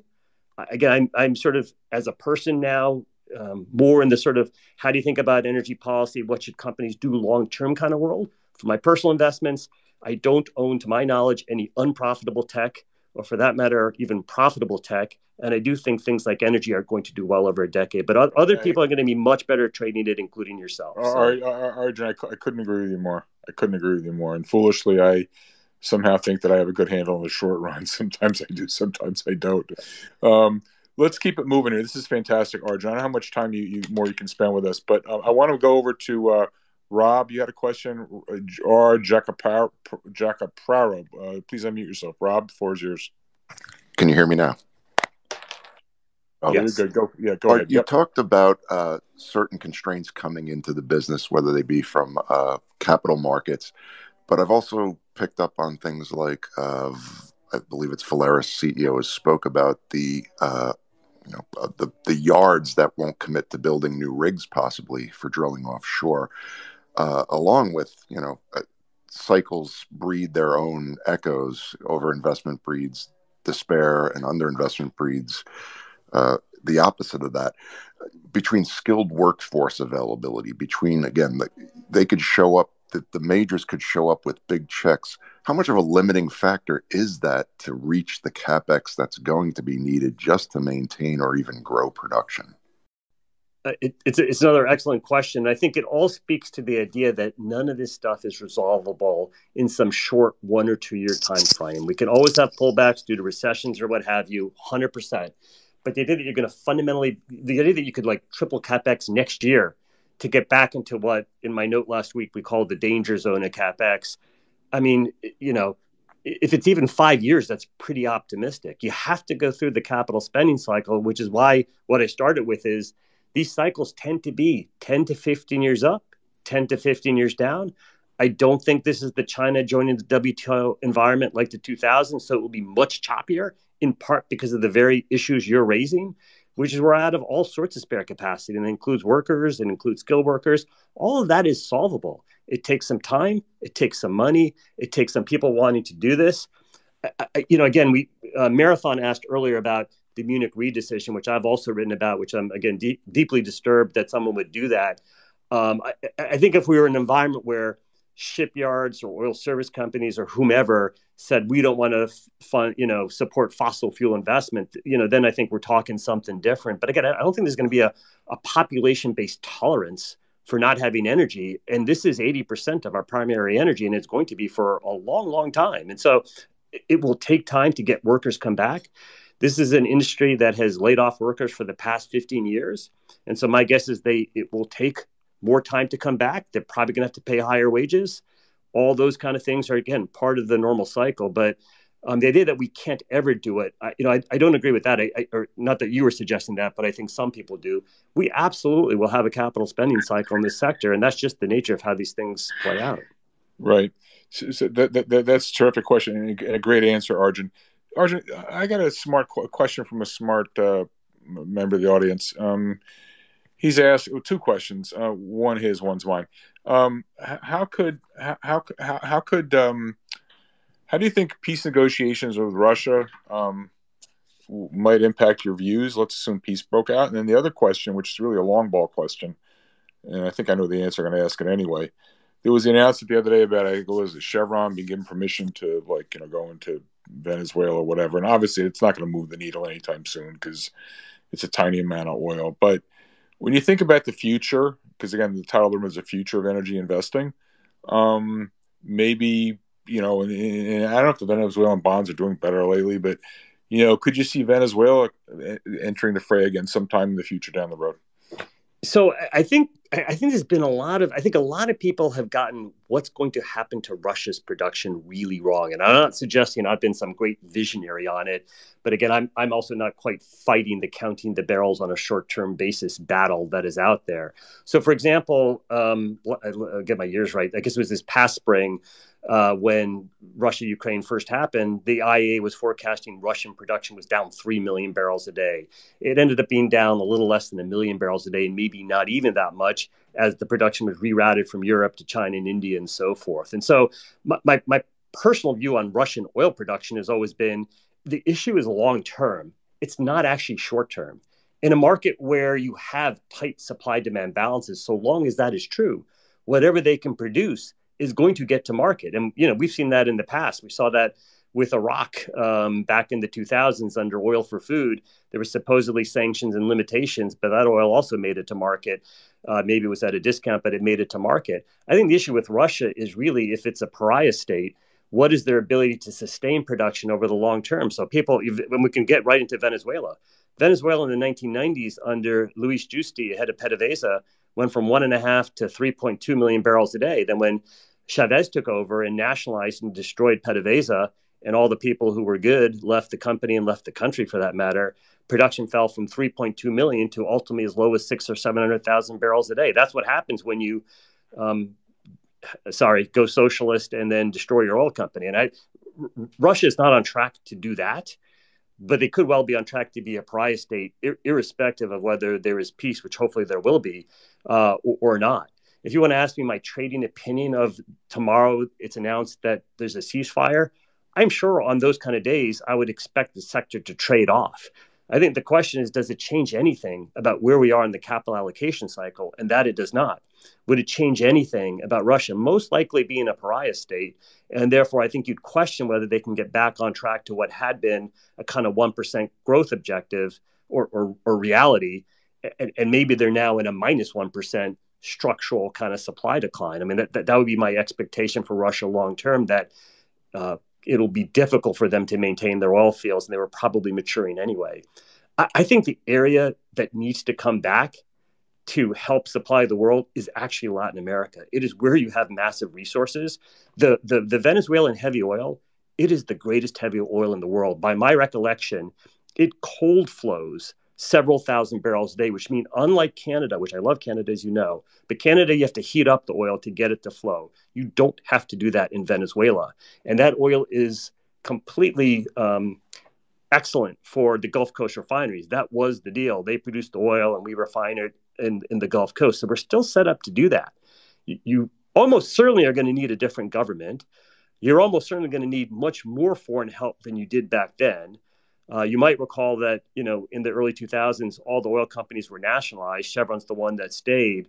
So there's still a whole bunch of process to to go through there. So I don't think it's going to be anytime soon. But Venezuela, and for that matter, you throw Brazil and Argentina to the same bucket, they'd be in the category of I wish they had different governments because they have a lot of good energy resource that the world really needs. And with better governments, their people would benefit from it. So sorry if that sounds too sappy. No, but, no, no, um, that, that, that, that, that is what is needed. I just don't think it's a short term thing. So that's great. Let's go over to Storm. Hey, Storm, good to see you. Got a question for Arjun? Please unmute yourself, Storm. Yeah. Hey, thank you so much, Mr. Noble. Great space. I just wanted to hear about 2020, your thoughts on it. Do you think we'll ever see oil, that kind of mishap, what occurred? I know there was accommodation of things, but I just want to hear what your thoughts on it. Thanks so much, Mr. Noble. Uh, you know, I, I, think it highlights the inelasticity of, of oil supply and demand, and it does work in both directions. You know, and so uh, w- when you get oversupplied, you you can you know we would have historically said, and and like our work in 08, 09, people may not remember it or, or but whatever was that when once we went into the great financial crisis we were then trying to figure out what is your production shut-in price, and we thought that was you know thirty dollars a barrel or twenty dollars a barrel. I think we briefly touched there. Typically, you don't stay there long. What was clearly unique about 2020 is normally recessionary environments are like you lose a million barrels a day demand, maybe a million and a half, and maybe for a quarter, three months. Here we lost upwards of 20 million barrels a day as the world shut down. Now, if, if you want to be optimistic, you can say horrific pandemic, the world stopped, and we only lost 20 million barrels a day. Now, 20 million barrels a day is 20x what we historically would have lost. Um, and I think that explains negative $37 oil, along with what we're obviously, um, uh, you know, a de facto retail account that for some reason didn't understand physical delivery and rolls and all that. I mean, there's a huge technical, an actual but ultimately technical reason for why that happened. So I, I would think it's probably not repeatable. But can you have oil prices crash to production cost? Of course you can. I mean, there, there's never a call that it's only up and to the right. I mean, even at Goldman, whatever people thought about our calls, we never had the world running out of oil. We never thought it was a permanent upcycle. I'm going to sound defensive now, probably. I think our normalized price got as high as $100 a barrel, and it was generally about 70 to $75 environment. We've always tried to call the cycle. Sometimes we've done a better job of that, and definitely sometimes I've made lots of mistakes and done a worse job of it. Um, but but but it is it is a cyclical sector. So can you can you have extreme dislocations? Absolutely. It's a physical business. It's not an anticipatory business. You have to resolve supply and demand every single day. Uh, my, my, my, former colleague and friend Jeff Currie makes that point very well. It's a physical business has to clear today. we have one barrel too much, it's a really low price. When you have one barrel too little, it's a really high price. And we're in the latter environment right now. When you resolve that imbalance, you can correct pretty hard. And that's that's my super vol paradigm. Again, I think returns on capital really good returns on capital can be really good over this decade, but it's a super vol mindset that I certainly encourage companies I interact with to have and to not fall into this lull that it's going to be some smooth path and just sunshine and roses. So, Marathon, over to you, Marathon. Hey, Arjun, I just wanted to follow up on your comment. Unmute yourself, Marathon. The... We can't hear you. I can hear him, George. Oh, good. As long as you can hear him, that's all that counts. Keep going. Okay. Great. So I wanted to riff on your mention of the Latin American oil companies. That great piece that you put out on your Substack, the video, you know, that showed all the U.S. company earnings and the market caps, uh, relatively speaking, and showing, you know, Exxon having very high earnings and a very low market cap. That's even more true for the Latin American majors. Uh, you know, most of these guys you talk about a Petrobras or an Ecopetrol, understanding that there are political concerns that are part of life in those parts of the world uh, but those are a couple of companies trading at you know two to three times earnings um, with you know well into double digit dividend yields. So I understand some of that because of the gravitational pull of the strong dollar and people leaving kind of non U.S. assets. Um, but I won't ask you to pick an individual stocks because I know you used to do that very well, you, but you prefer not to do that uh, any, anymore. But in general, the genre of kind of buying Latin American majors with low valuations and probably better growth growth prospects. What do you what do you think about that? So I, I, I definitely well, first of all, thank you very much. But I, I like the genre of figuring out what besides the Permian Basin is going to be good Every, and I like the Permian Basin. I, I, like companies that have running room in the Permian Basin that are going to be able to sustain some mixture of advantage costs and, and profitability versus others. But it's very well known, and so therefore there there is analysis to be done on who has running room and who doesn't. That's probably true of all the shale plays. It's really what in rest of world is going to come in the money um, and I, I do think Latin America is is screaming to come back. My challenge, and I'm I am distanced from it today, is to really know where they are in the political cycle. And so, you know, ironically, Lula's back. Petrobras had some had some good had some good times and had some bad times under under Lula. And I, I did directly covered for a period of time. Um, you know, Petrobras is a world class company, so certainly capable of generating good profitability. But you know that's probably the one that jumps out but whether it's colombia whether in ecopetrol or whether it's argentina again I, I don't think i am close enough at this point to know uh, where where they are in their political cycle which is really probably as important as any other consideration trying to figure out these companies. But does the world need that oil and gas? Absolutely it does. And is there an opportunity in an environment where it seems like the Canadian federal government does not want to be supportive of its own companies for whatever reason, that then, then if it's not going to come from Canada, gonna, maybe that is an area. You know, Venezuela is, a, is the country just makes you cry because it is the greatest heavy oil resource in the world. It should come out. It should be partnered with the U.S., but that's going to take a whole bunch of different changes. Um, I think the Middle East um, is clearly an area where I think it's hard for outside investors to get exposure. Um, so I would suspect uh, United Arab Emirates, Qatar, and Saudi will all have investment plans. And I will note, um, people might laugh at this. I, actually think they'll be competitive on having low carbon barrels, actually. Uh, and we can debate how we monitor that. We can debate what they do to prove that up.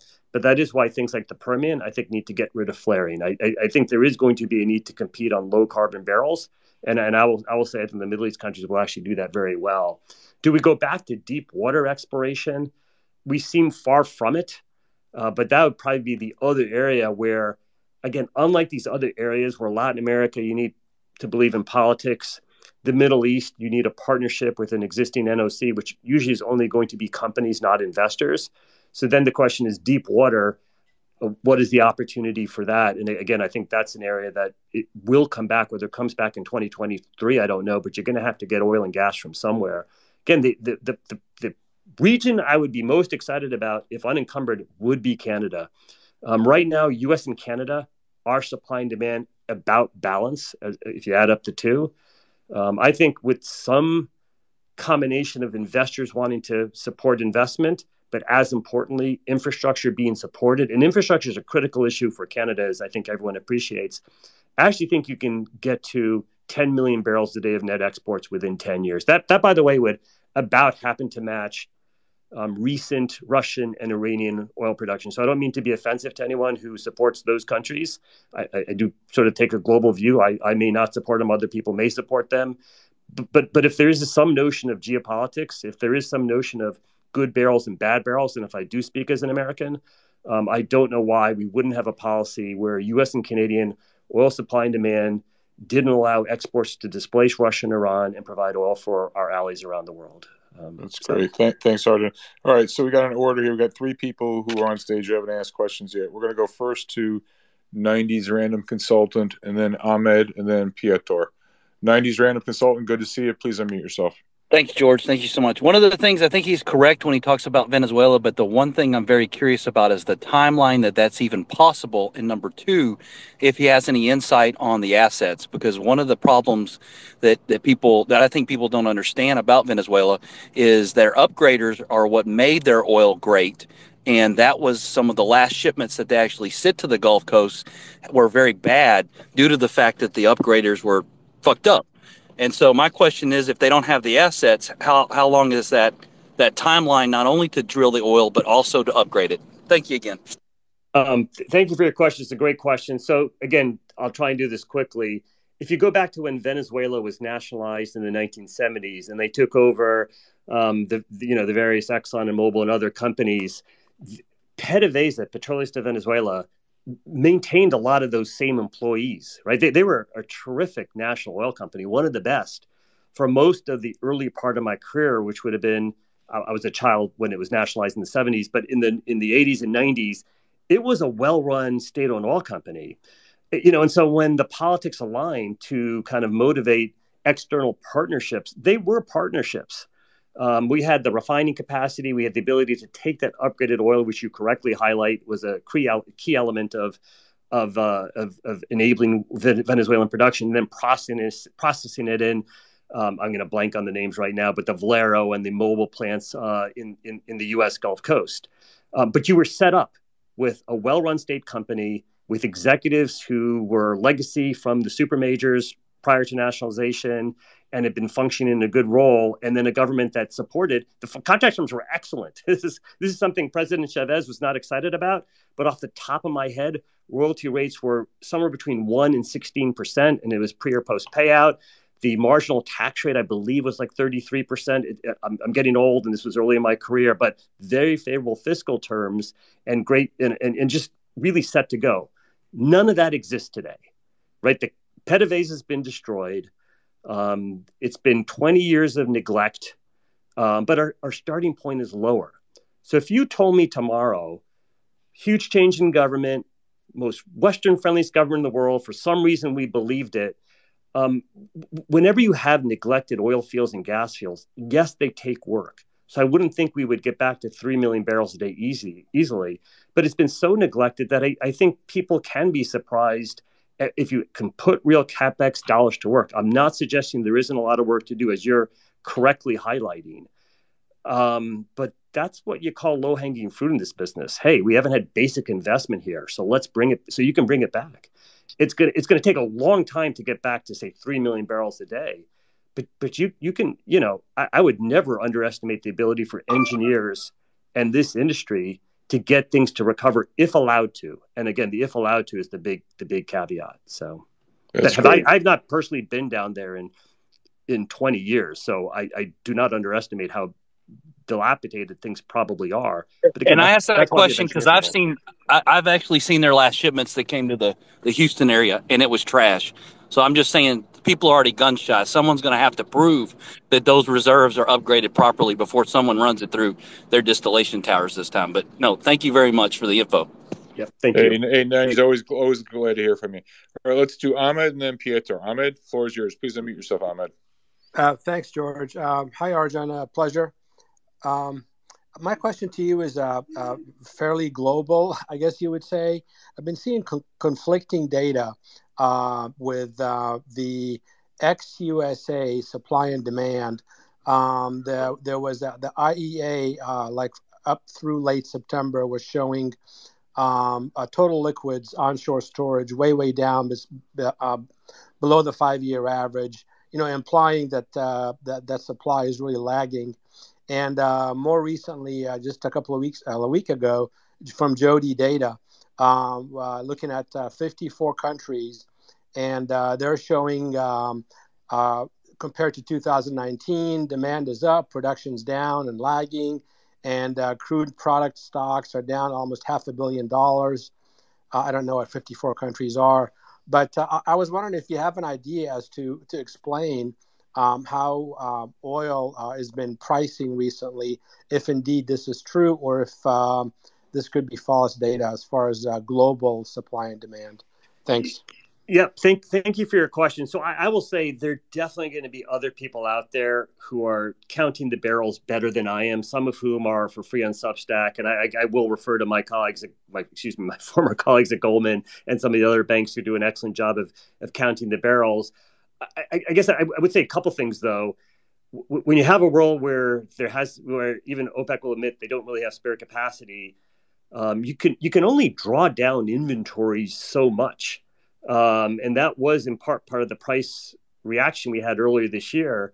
Before you start taking out demand, you you, you cannot sustain the extremes of this business of either having a glut of oil supply that fills up. You know, again, it's not like gold or copper where you can you know pile these things to the moon in someone's backyard if you wanted to. You have to have a physical tank a terminal a refinery or something to store oil again in the oversupply scenario.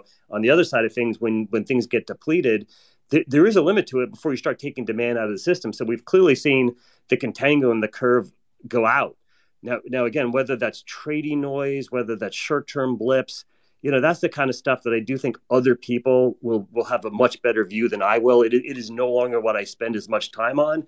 I, I will, uh, you know, our line has always been that the truth is in the slope of the forward curve in the short term. So I think you can't just dismiss the weakening as purely technical noise. I think you have to wonder is that a recession signal or otherwise. And I don't I don't dismiss any of that. I I, I can't only take the bullish interpretations of these things and say, well when it goes against me, you know, it's noise, but when it supports me, hey, it's fundamental tightness. I, I think we, I think we, again, our line at Goldman was always the truth is in the forward curve, at least in terms of your kind of your, your spot supply demand. So I take very seriously the fact that the contango has gone out of the curve, and um, I'm definitely not smart enough.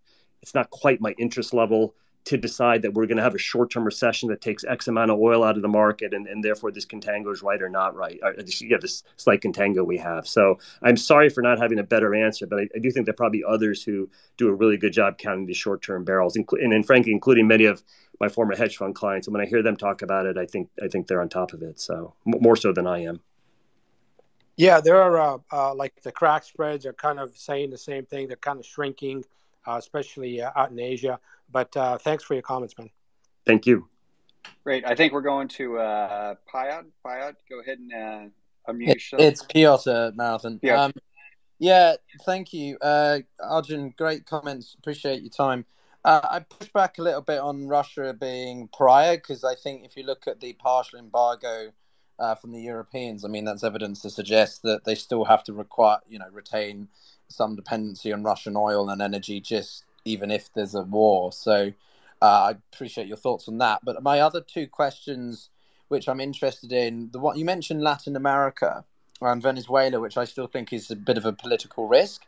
But what about Guyana? Uh, they've seen as a huge potential source of, you know, uh, oil reserves since 2015 and has seen their GDP growth by, I read one article the other day saying about 180%. So I'd be interested in your thoughts because they're just across the road and much more stable. Uh, and then the other region is Africa. Uh, we've got the potential for this trans-Saharan pipeline from Nigeria and Algeria. Uh, and I was just curious, uh, you know, what your thoughts are on any prospect of Africa being a region for potential uh, energy sources. Thank you. Yeah, and, and, thank you for your question. And I, I, actually appreciate the opportunity to clarify a little bit on Russia because I think the, the, the way the Russian oil industry is set up is different than a lot of other countries, and it's it's for the better in terms of uh, their potentials to supply oil and gas to the world. So, you know, one of the challenges with uh, when you know my the super majors were partnered in Nigeria is every year the the Nigerian Congress had to allocate money to NNPC, Nash, uh, Nigerian National Petroleum Company, to get capex spent, and it was just a, a, a ridiculous process. And then you look at like Mexico, where Pemex and the government don't have lots of lines of differentiation, right? So some large portion of Pemex's revenues goes towards funding the Mexican government, which therefore doesn't allow so much free cash flow or, or you know to go into capex. The countries that have done a better job uh, where they're state owned has been when there's at least been more of a notional separation. And that has largely been true in a country like Brazil, where Petrobras, I mean, it's a publicly traded company. There's no doubt there's significant government influence that frankly got worse uh, in the 2010s, but there's a little bit of a cycle there. But there's been a little bit of a differentiation. And that is especially true in Russia. So there you've had as many as sometimes half a dozen, in, you know, quote, independent companies. And again, no illusions here. Um, what, you know, their leader will ask them to do or tell them to do, they're going to do. But there's a, they are at least notionally independent companies, uh, self-funded, if you will which doesn't mean their cash flows don't go towards paying taxes. It doesn't mean President Putin or anyone before or after him can't tell them cut production, raise production. They may do all of that, but there is a distinction there. Even the oil services industry, as best as I understand it, that operated in Russia, if Schlumberger was there, if Baker Hughes was there, or Halliburton was there, um, frankly, it was Baker Hughes Russia, Schlumberger Russia, Halliburton Russia. So when those countries decide after the Ukraine invasion to evacuate or abandon or leave, um, they frankly just got turned over to, to, to Russian ownership. Uh, right. So, again, the ability for Russia to perpetuate, you make an excellent point, and I appreciate the opportunity to clarify, is much better than I think is commonly perceived or would be the case if you looked at different countries going through this. Um, the, the thing, though, is, is that's not unlimited. So, my more bearish view on Russian production, I want, I want to be clear when I say bearish view, instead of growing 1% a year, which is what they've grown, and it is what the world has come to depend on, even in what has been a lackluster global oil, oil uh, excuse me, global economic environment. In a lackluster global economic environment, 70% of world supply over the last decade was from U.S. shale. Uh, Canada contributed and Russia contributed, and then again a little bit from some of the OPEC countries. The Russia piece of that is going away, and the Permian and shale piece does look more mature. And so we're gonna, you know, I, there, I've never made a call, and I'm not making it now that we're running out of oil. We are not. There's plenty of resources, but you actually have to be able to invest in it. You have to be able to have pipelines come out of Canada. You have to have different governments that enable and incentivize investment in, in Latin America or Russia or Africa or wherever the case may be. And so I suspect, or my view would be that Russia is going to grow, go from what had been a 1% supply contribution to the world to at best flat and probably decline. There, there are people who analyze Russia and say those fields were already maturing and they did need Western technology and investment to do next generation fields. Again, we can debate some of that, and that's probably for different spaces than, than this one. But I, my view would be that Russia will not grow going forward, and it probably declines one percent a year. So again, I appreciate that. I, I, think the biggest area for opportunity besides Latin America would be Africa, but but that's where some of the this is probably one area where some of these policy, climate, virtue signaling, decarbonization policies have frankly been most disturbing. Right, the the the, the fact that some of the major major institutions of the world are saying we are not going to support natural gas development in, in Africa because we want them to go directly to renewables is, is insane. Um, it is it is morally insane. It's financially insane. I, don't understand how anyone can have that type of mentality. Some people do. It's fine. Um, and so the, the, the question is, um, how do we motivate investment in Africa? There is a lot of resource there, natural gas and oil. I don't see how there's any question that those people don't deserve to have the kind of economic developments we have. They may have challenging governments that could be stopping stuff. And in some cases, it could be our governments, meaning the Western world, that is stopping some of this investment from happening. So I would like to see Africa have more self development. That is a, in my policy hat, that is something I care about. And as we talked about Munich Re, it is deeply disturbing to see the World Bank, as an example, and other institutions like that say, no, they don't get to have natural gas pipelines in Africa. That that how can that be okay, right? And, and so I think how do we motivate African investment? That's right. that's going to be one of the big questions. But th- th- thanks, Arjun. Let, us keep it moving. We got a lot of other people who want to get some questions here. Arjun, how are you set on time? By the way, you've been more so generous. I don't want to keep you here all night. I, am doing okay, George. Just, okay, it's great. a lot of fun to be with you. So. Yeah, yeah, Arjun. You know something funny? These rooms, like I'll be honest with you, like people when I talk to professionals uh, in the in the business and I tell them, you know, I don't really read street, street research anymore. And I said, the first thing I do when I get up in the morning is look at my Twitter feed because I follow smart guys like yourself. I mean, honestly, Arjun, I find these conversations far more interesting and in some cases informative than the sort of, you know, the usual. We'll, we'll, we'll, we'll, we'll, we'll, we'll keep it anonymous, but the sort of, I'm sure you've had your more than your fair share of uh, institutional presentations you had to make over the decade we, we, just want to fall asleep. I mean, it's like, well, someone please ask an interesting question. You know what I'm talking about. George, I wish we had all these resources when we were younger in our careers, right? Oh, we were more dependent on the institutional paradigm. And seriously, thank but, goodness but, for. Yeah, but Arjun, actually, you know what? I'm not going to butter you up, but it's people like you which really make this platform so powerful. I mean, I think the, the, the street is so ripe for disintermediation. Um, it's just, they're just cruising for a bruising, and it, it really takes smart cookies like yourself coming out here. I mean, people know there's another way. They're tired of listening to bulge bracket firms. Um, they don't want to listen to CNBC, Jim Cramer, all the rest. And you know, there's a collective intelligence out there. It's an extraordinary community, and and yeah, I'm just a ringleader. I got the Rolodex. I know everybody, but I mean, I learned so much from these rooms, not just from smart guys like yourself, but the questions are phenomenal. I mean, so it's really something. The community we've built here is really very, very special. And I, I, I like you said, I wish we had this 30 years ago. Um, so, Arjun, before we go to the next question, I had one for you. To what extent? I mean, it's it's it's. You know, my grandfather used to say, "Never ask a question you don't know the answer to." To what extent are companies um, are they or will they be constrained from increasing their production because of lack of uh, resources? I'm not talking so much about capital; that's the obvious one, but whether it's getting you know steel pipes or enough graduates from the Colorado School of Mines, or you know, you hear stories, a lot of stories from the Canadian Oil Mafia. Guys kind of, you know, they left the oil patch, you know, they, they got laid off. Now they want to be hired back, and people saying, "The hell with that." Forget about forget about the carbon shaming. It's just like who wants that job? They love you, they hate you, et cetera, et cetera, et cetera. So, so it all sums up to a question like, how hard would it be in terms of having necessary resources to be able to increase the production if the oil companies wanted to? I mean, again, it, I, am sorry to keep giving the same answers, but it's, it is just a question of time. So again, I've been doing this for 30 years, and over my and, I, and there have been two deep downturns that at the start of my career, uh, you know, and then um, just after the uh, super spike era, and every time it is the same perspective that hey the industry's graying uh, no one wants to do this job anymore and they're not going to come back. And they they they will come back. Um, investors will come back capital will come back.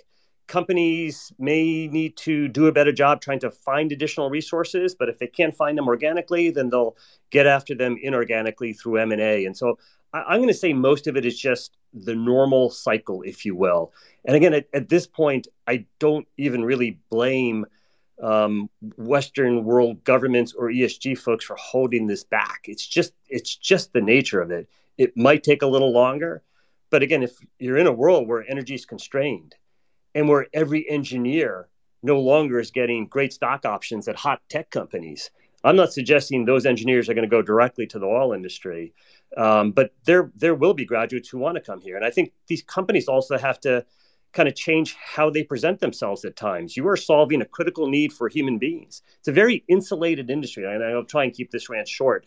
But there, I mean, it, at least in the U.S., most companies are in Texas and Oklahoma.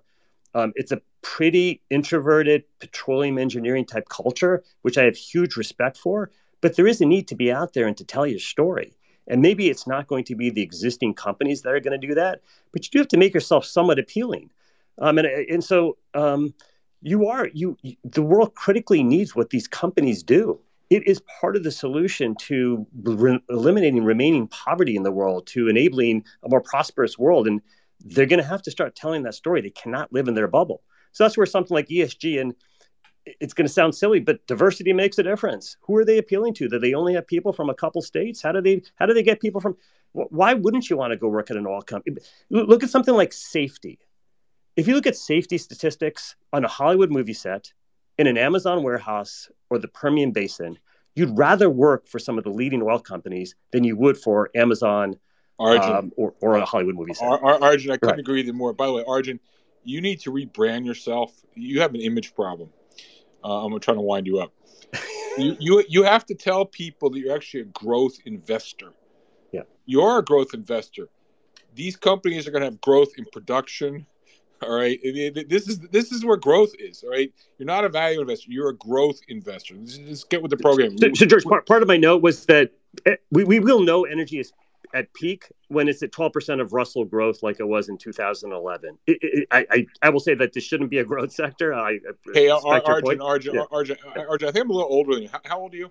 Um, 53. Okay, so I'm a little older. I'm 65. I came yeah. to this business in 81. All right, and – they gave Fidelity was hired uh, two kids a year, one from Harvard, one from Wharton, and they gave the other guy, the Harvard guy, they gave him the junior oils because that was a hot sector. I got stuck with non-ferrous metals, all right. But at that time, energy was I think it was twenty five percent of the S and P or some crazy number like that. So. Yes.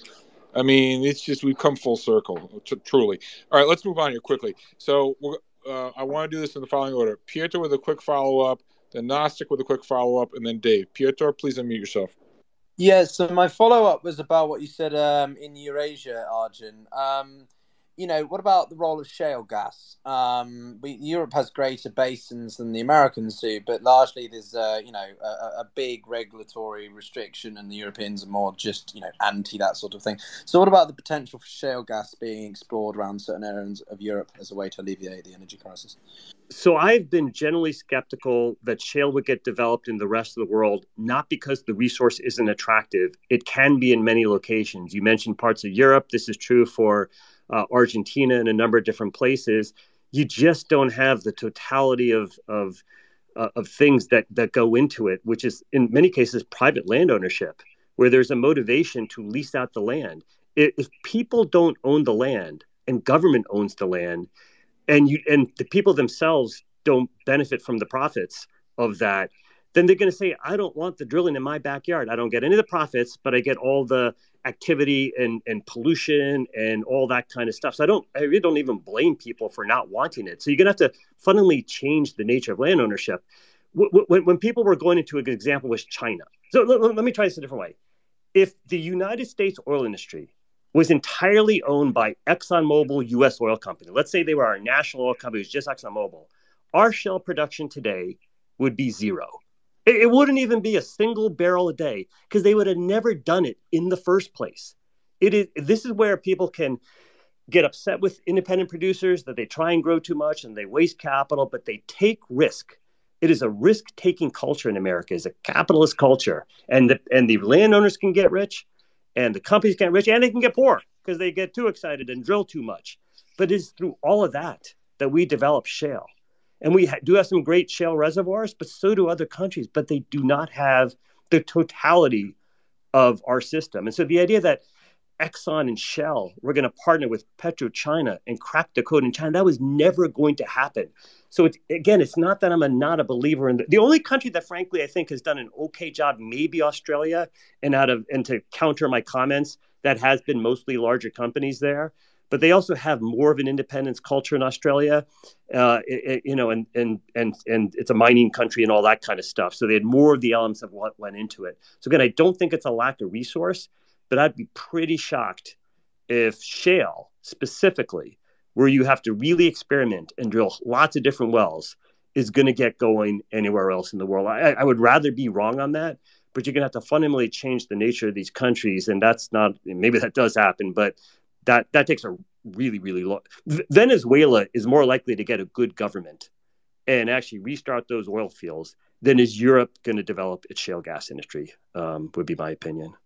Wow. Thanks for that, Arjun. Okay, Gnostic with a quick follow up, and then we go to Dave. Gnostic, please unmute yourself. Oh, I've got a follow up, but just when somebody, when you were talking about shale someplace else, I just had this horrible picture of the fracking compressors and water supply that we've dealt with trying to make it across the ocean into another country to sit down and do it with a 3,000 horsepower engine. And I, I just, I, I just cracked up. I'm going, those those fracking operators would not get on a boat. It's uh, that I just I just broke up thinking of the just just trying to get them over a hill was bad enough. Trying to get them on a on a freighter to another country is just oh lord. Um, the other thing I was going to say is, is Guyana has a nice offshore oil uh, that should match the the Venezuelan and, and should be interesting. So does Suriname. So that's going to be interesting offshore drilling. But the, the biggest one that hasn't been addressed yet uh, in, in any of this, and I, I, leave it up to you whether you want to answer or not, is uh, state interference. U.S. state has interfered with investments in oil in multiple countries by denying investments, uh, independent investments to go into those countries. Um, Sudan being one, Iraq, Iran, or pardon me, Sudan, uh, yeah, Sudan, Iran, uh, a number of other places have basically been denied uh, investment. Iran, I can understand. Uh, South Sudan still have issues with, um, but they've actually allowed, disallowed investments in these countries uh, to sit down and try and, and do anything, which has made it almost impossible to sit down and get to their oil. And you've got captured oil in Chad that can't make it past borders right now. So there's lots of oil floating around. It's just state keeps slapping people on the wrists. Gnostic, was there a question there? My question is, how do we get around the, the political interference of sitting down and, and trying to get supplies in? And that creates a political risk in other countries for whatever is the current regime within the U.S. for sitting down and doing things. Is there any way to get around that? Uh, you know, so uh, it's it's a little bit like sort of how can we not have volatility? We're, we're, going to have volatility. So pretending we're not doesn't do anyone any good. And that's going to be true of political interference. That's true of you know, we, we have political interference in trying to get Canadian oil down to the United States, which completely baffles me, but but it exists, right? We've got political interference in the North Sea where they are jacking up windfall profits taxes after sort of discouraging investment for a long time. So the political interference is widespread, including, ironically enough, within some of the countries themselves. You know, it, it's just the nature of being an analyst and an investor. I don't, I don't um, I, I don't say it doesn't make a difference because it does. I think when one is investing in energy equities or thinking about supply demand balances, that is part of it. The politics and the policies are part of it. Uh, and, and there are many reasons we do these policies. So I, they may not always be for wrong reasons, they may be for good reasons. Uh, if a country harbors terrorism, as an example, it seems perfectly reasonable to say to our companies, hey, they harbor terrorism, don't invest there and maybe that's an American moral judgment. So like, you know, you know, so I, don't think one can blanket say we need to lift all, all of this interference. I would like to see Canadian oil make its way to the U.S. That seems like a pretty no-brainer kind of thing to do. Um, but uh, you know, th- even that we don't happen. So I don't. Um, but but nor do I think we will never have over oil oversupply again because of political interference. We we absolutely will, and we'll have it because people will not tolerate not having energy, and so we're going to have an energy cycle here. This is just a question of how long. And, and we started with this and we keep coming back to it. Is it three years, five years, or 10 years? I'm personally in the it's probably going to take longer time frame because people have this ideology of decarbonization, which I support. I just don't support the ideology of it that somehow you can only going to do it with electric vehicles in some short time frame and renewables, which doesn't even make sense for any normally functioning grid. So the, the, the how people are going about it is the problem, and that is contributing to what will be a longer cycle. Um, but we will we will absolutely have a cycle. So so so so, so Arjun, the Canadian Oil Mafia didn't put me up to this, but um, and, and and obviously again there will be volatility. I get that. Yeah. But when you say it's it's going to be a long upcycle, I mean, isn't that music to the ears of an energy investor? You talk about the visibility of the cycle because you know how it is. What you don't want is a one-hit wonder. You know, it's like, you know, steel company sells on two times earnings. Earnings are here today, gone tomorrow, right? Yep. But you're telling me this is a long-term upcycle with a lot of volatility around. I get it, but it just tells me that the terminal value is much higher, no? And I think that's probably the other area that we haven't talked about yet. So if you have companies that where capital spending is much closer to trough than to peak and reinvestment rates are much closer to trough than to peak and we're just starting to try and talk about where we might we want to invest and not want to invest this perception that again oil demand is on track to peak in 2025 or 2028 or 2030 um, it's probably the biggest disconnect, right? And it's contributing to what I will call a, a, de facto zero terminal value. Now, someone can say, listen, that's not zero terminal value. This year is peak earnings because of the Russian invasion. And at some point, that'll go away. And this is just a temporary blip like we had in 2015. Uh, that bounced back in the spring. And I'm going to get my years wrong, but 2017 had a bunch of blips along the way. And I think, again, I'll say, I think 20, 2006 to 2020 was a 15 year downturn uh, for returns on capital, and now we're at the start of 10 to 15 years of upturns in returns on capital, um, and that that's the core thing. It, it, that's the time frame by which I I put parameters around this, um, and it will be very very choppy and volatile along the way. That's um, terrific. Yeah. All right, let, us try to wrap this from up here. We got a bunch of que- bunch of people in the queue, so I'm gonna I, I ask everyone who asked a question to please try to keep it brief. No, uh, no, no, no, no speeches or filibusters allowed. Otherwise, otherwise the Gong Show is going to start. So let's go to Dave, and then after Dave, we're going to go to the Crude Chronicles. Dave, please unmute yourself. Hey, thanks, George, and thanks, Arjun, for taking my questions. Uh, just very quickly, Arjun, you, you outlined uh, kind of a vision of, of Canada growing to around 10 million barrels per day of exports. I just want to confirm your where you see that coming from. I, am assuming you're talking about greenfield oil sands expansion as opposed to, to brownfield or offshore Newfoundland and places like that. So maybe just a quick confirmation on where you see the growth from Canada coming uh, in the long cycle. And second question is around um, also tied to Canada. So last decade or so, the you know U.S. producers uh, beat a hasty retreat from Canada um, and, and left oil sands. Do you see that trend reversing? Do you see American E&Ps or perhaps international companies looking at Canada for long life uh, reserves and perhaps doing some M&A north of the border? Thanks. Yeah, thank, thank you for your question. Again, another opportunity to clarify. So 10 million barrels a day of exports would be f- from a combination of Canada, United States supply, 3 million out of Canada, 5 million out of the US, and then 2 million barrels a day of demand hit through stricter fuel economy regulations. The last piece, the 2 million barrels a day of fuel economy regulation driven, that requires bipartisan efforts that we have not seen over Republican, Democrat, any mixture of those two that you want to see. Um, so you might call into question whether we have the will as a country to really. This is the one thing I think Europe does a good job of is is is they they and Japan have had kind of been the two countries with some sort of real fuel economy gains over the years. We should know evidence of wanting to do that, but that would be part of it.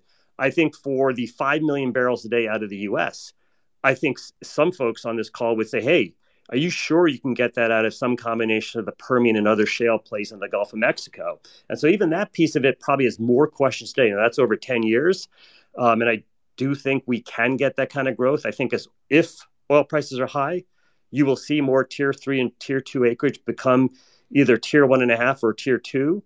And the tolerance from investors usually does grow as the cycle progresses. You go from deep value investors to value investors to GARP investors to growth investors.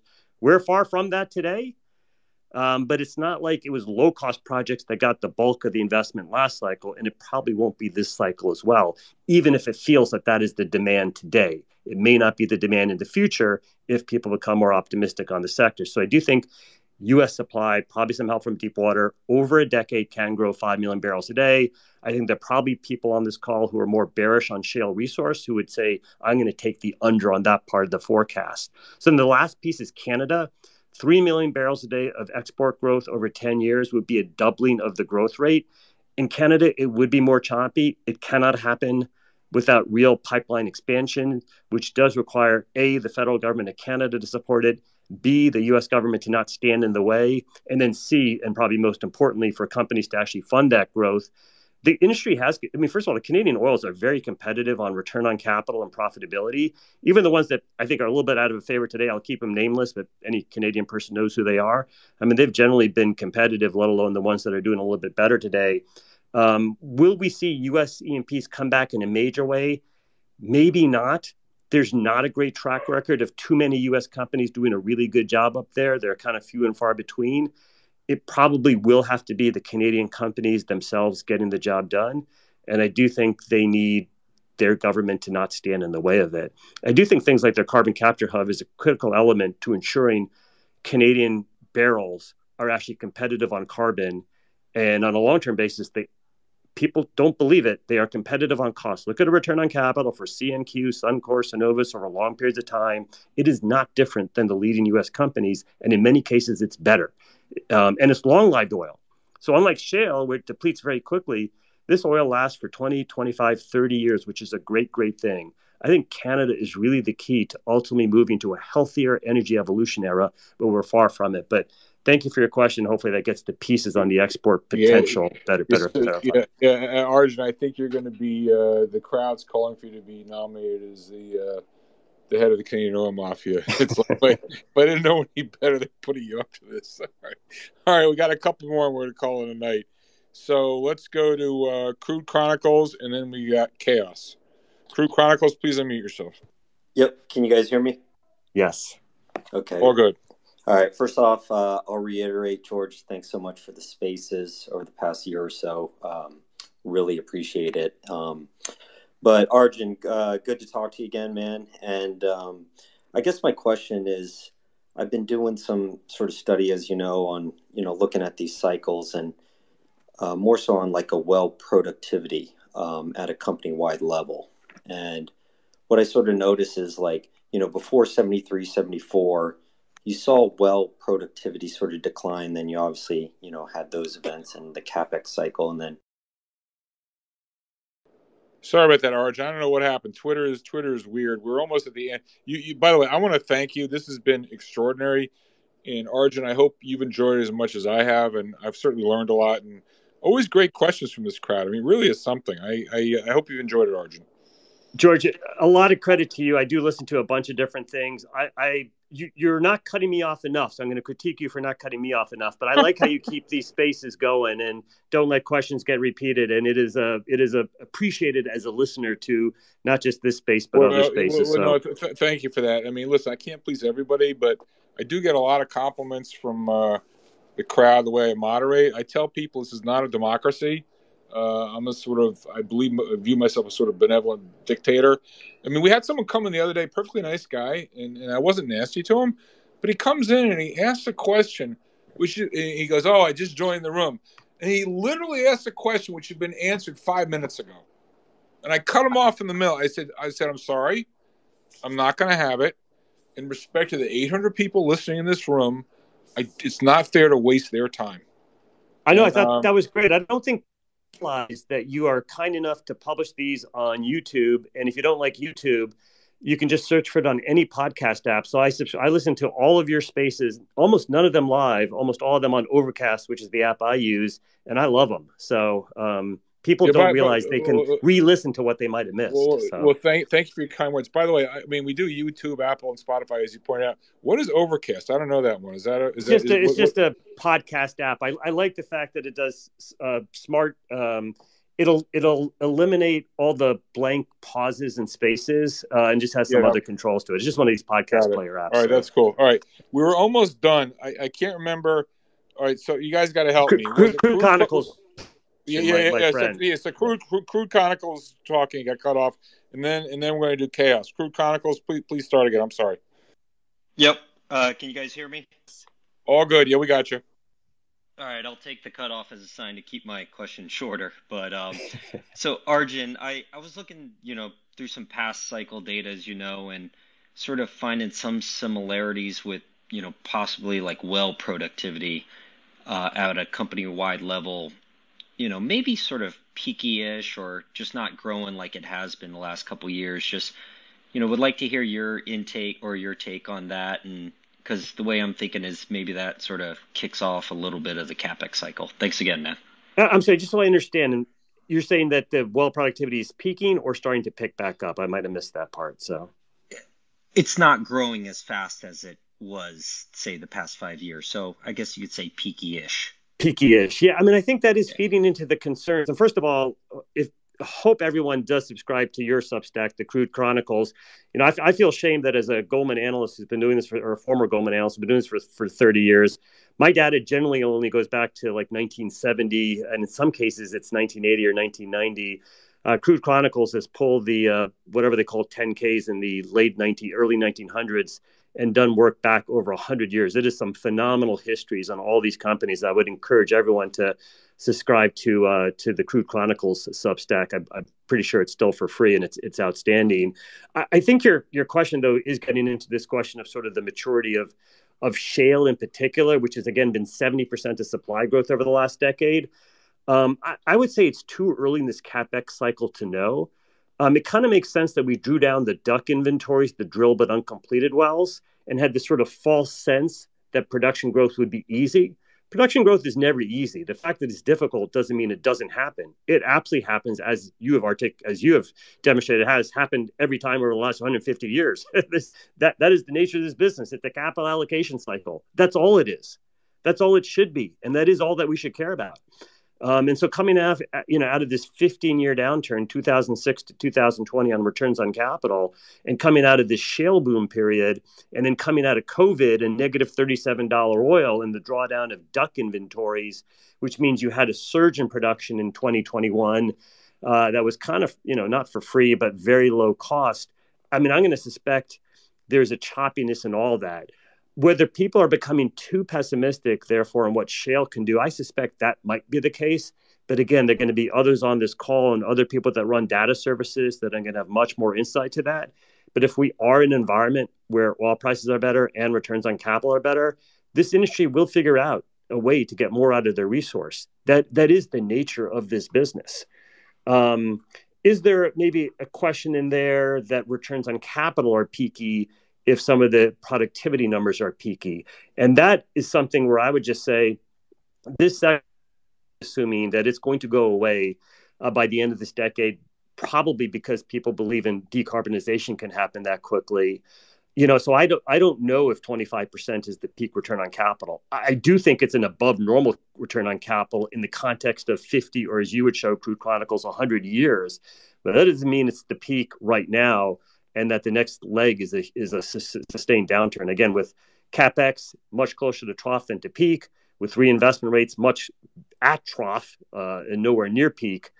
Um, I think a period of above normal returns will continue for the for the foreseeable future. So, so, so Arjun, just to follow on to that before we go on to chaos, um, if you think about full cycle returns and where the stocks are valued, not trying to lead the witness here, but how do you avoid the conclusion the stocks the stocks aren't really attractive? I, I think you'd have to. I, I, think the bear case would have to be um,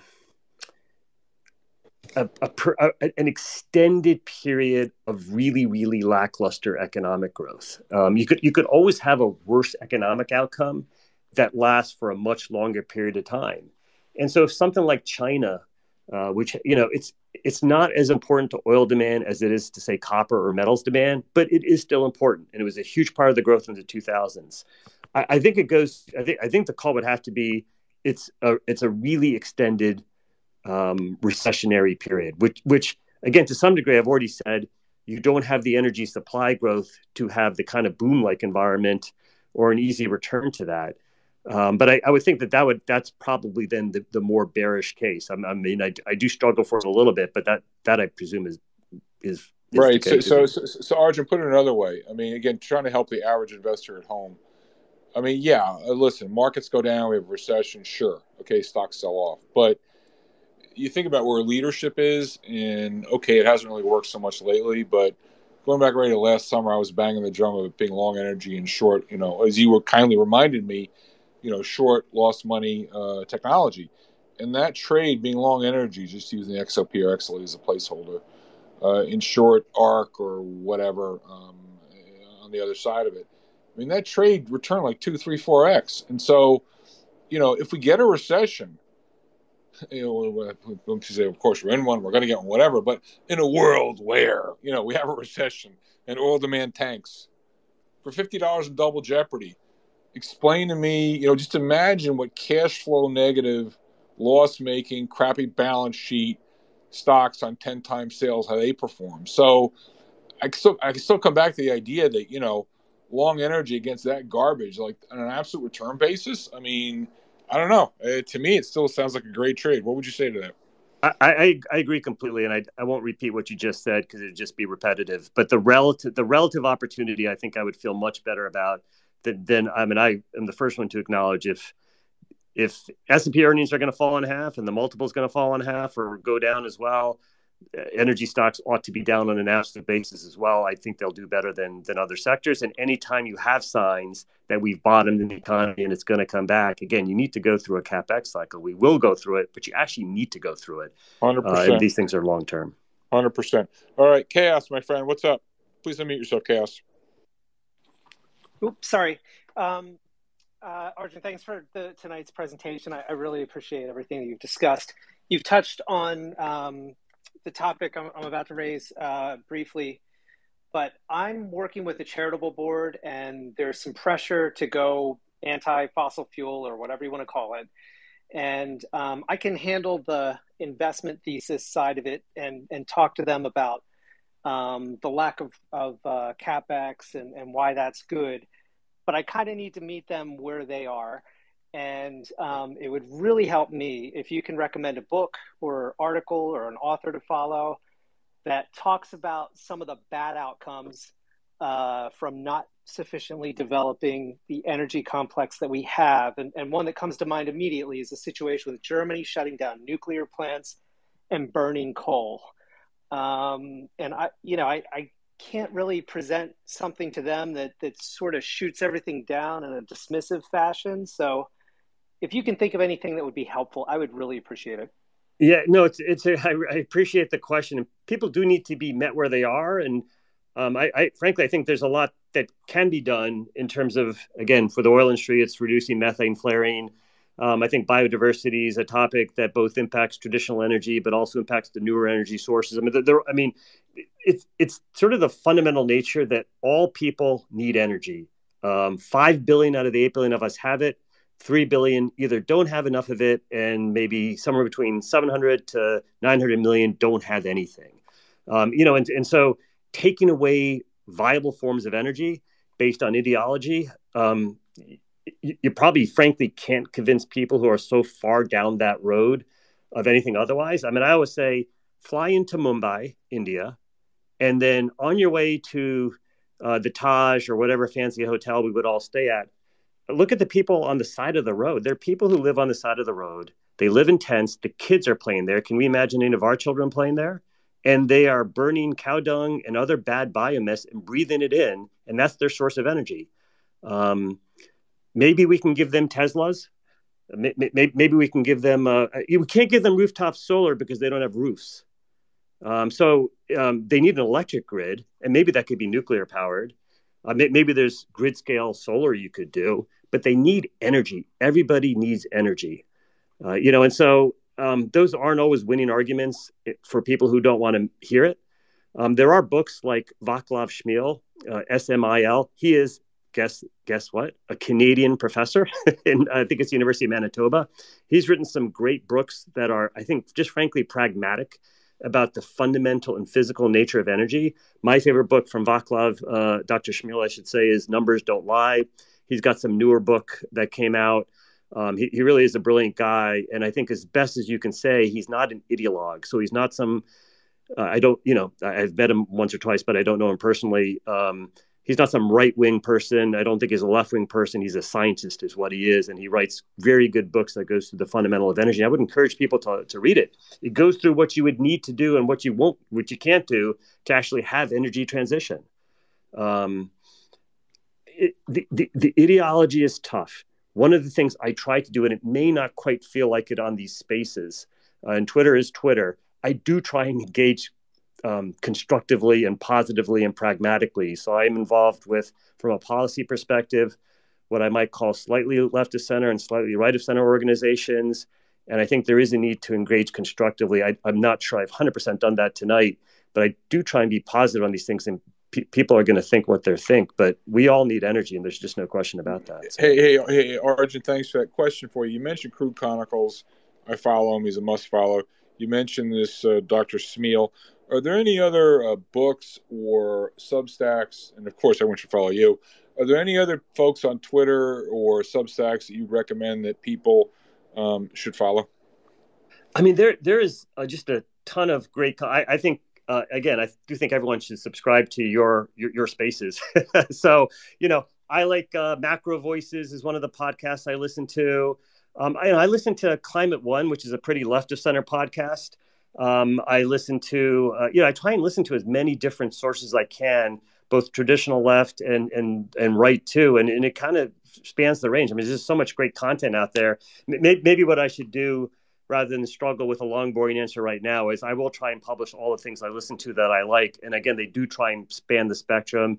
I do try and make it global. I try and make it left and right if that's the context or diehard climate versus non-diehard climate uh, and so forth. And maybe I'll put out a list. Maybe that'll yeah, be my my yeah, holiday I, Substack. So I think that would be great if you really want to help educate people. Hey George, I, I, just read a great book, Retail Gangster, which is about Crazy Eddie. So if you're 65 and I'm 53, you will absolutely remember the Crazy Eddie. Uh, uh, electronic store. Not only uh, Arjun, Arjun, you just stepped in it. Not only I remember it, I was the retail analyst at Fidelity when when Crazy Eddie came public. oh wow! I wow. had the guy lie to my face. Boy, was he charismatic. I mean, not only that, for those of you uh, remember John DeLorean, DeLorean Motors, I was the auto analyst when they came public. I, I could tell you story after story after story. So anyway, uh, Arjun, before we before we go to the next questioner, I had one for you. Um, the prior question, I think, it was from Chaos talking about uh, nonprofits. Um, it's been very high profile lately that uh, some of the thought leaders out there, um, some of the elites, I think Harvard, um, Princeton. I don't know if Yale's done it yet. My, my alma mater. They've divested themselves, say they're going to divest. Um, you no doubt have dealt with these institutions, and we'll, and we'll, we'll keep them in the federal witness protection program. We're not going to mention them by name, but generically, when you're talking to big funds like that, and they get on the high, they get on their you know on their high horse, and these are non-economic things. You know, it, it could be it could be divestments from whatever, right?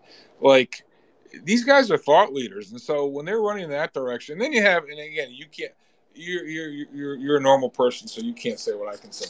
But you look at you know the BlackRocks of the world, and Larry Fink, and all this other stuff, and just really politicized nonsense. I mean, so you have big institutions out there, thought leaders, charging down the field, waving the flag in one direction. Like what do you what can you do about that? I mean, because because you know for a lot of folks it's it's monkey see monkey do. Well, if Harvard's doing it, it must be the right thing to do. So what do you say to that? I think people need to speak up. I think it's very easy to just complain amongst your 10 person text change of either fellow Republicans or whatever people believe in and want, you know, complain about the mainstream media and complain about Harvard elites and Columbia elites and all this kind of it's why I started my Substack. So I benefit from a networking perspective from it. Um, but I do it also out of just um, dismay at how people talk about energy transition and their kind of willingness to not really understand the nature of energy systems and to think that it's a piece of cake. And all you have to do is divest of one and you'll magically get the other one. And there's going to be a heck of a lot of pain along the way. So I, I don't think it's okay anymore if you know something about something um, or I guess maybe I'll say it positively, I felt a need to at least write publicly. Doesn't mean I'm right. Anyone who's known my career known I've made many bad calls and I could well not be correct about everything I'm saying tonight. People should totally understand that.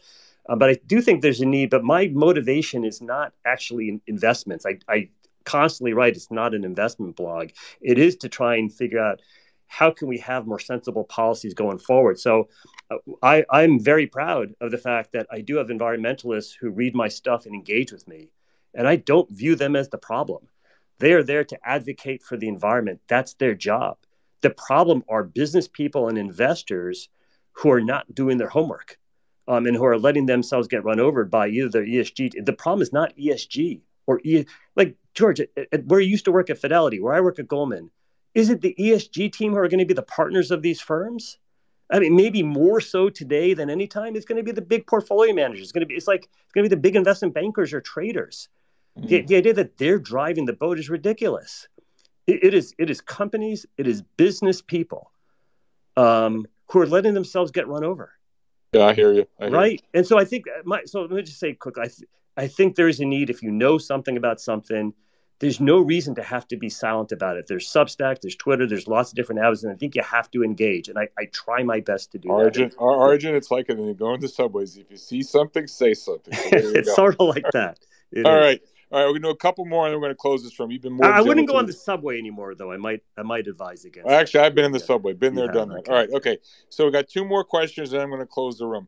We're going to go to Mike, Doctor Doom, and then we're going to have Carpathia close the room. Mike, please unmute yourself. The floor is yours.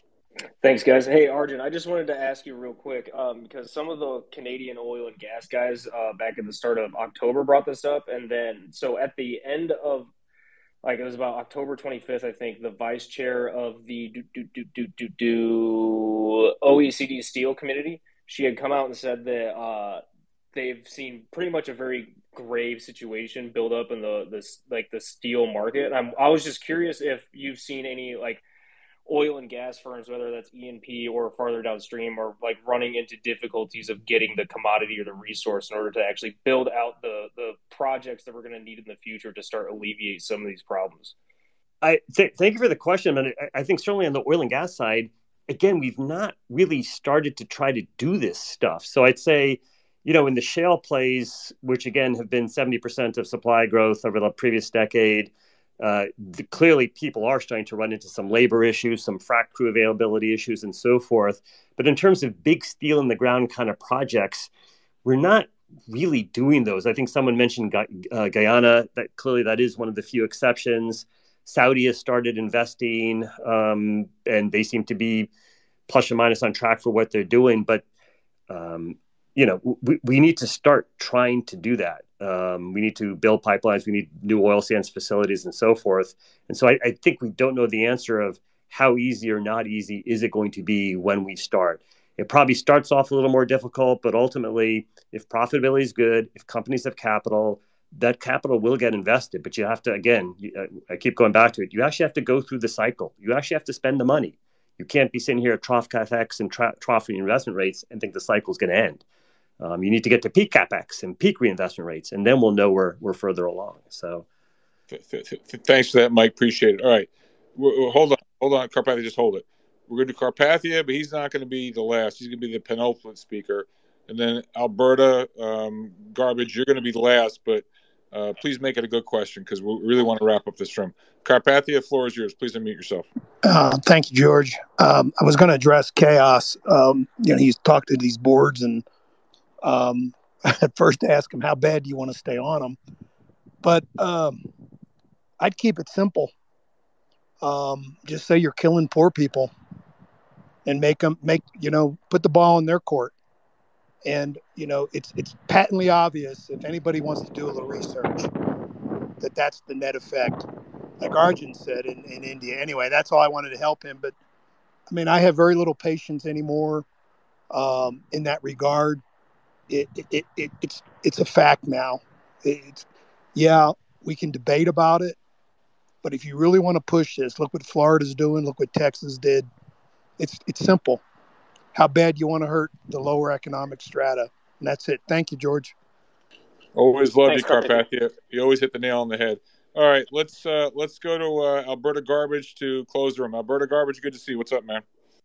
Thank you, Arjun. Always appreciate it when you come on here and share your thoughts. Um, you know, I can certainly echo what you were saying you know, the capex cycle hasn't hasn't really even started. And to the question that was about steel, um, I've actually been observing uh, prices and availability, the prices going down and availability increasing for oil country steel tubing, um, which says to me that you know people are not pushing capex to the max. Um, it's just not to, to to echo Arjun. The capex cycle hasn't even started yet, so how could it end if it hasn't started? Anyway, thanks for uh, thanks for having me on here. Alberta Garbage, great to hear from you. Appreciate you being here. So, Arjun, with that, we're gonna. Man, you really are glutton for punishment. Two and a half hours. This is awesome. So, uh, Arjun, I hope you will. Uh, actually, Gnostic always has a nice way of closing these rooms, but I'm gonna make make my two cents. And I'm gonna leave it to Gnostic. So, Arjun, this has been phenomenal. Really, um, you've you helped so many people. This will probably be heard by. I'm gonna guess when it's all said and done, 20, 25,000 people. Um, so you know, two or three thousand people live. Ninety percent of the people that listen to these on a recorded basis, as you do, and not just uh, on Twitter, but as you know, uh, as you rightly pointed out, they're on YouTube and Spotify and Apple. So you are making a difference, Arjun. You're not talking into just an echo chamber of oil crazies. Um, this has been awesome. You are one. You have an obligation. You really do to speak out as you have. Uh, one of the things I, I say quite often is that the folks um, who some of the older crowd, I'm not going to call it be old, but you're older, but those who have the knowledge base, many of them uh, have lost their voice. They're they're not being heard adequately in the public square.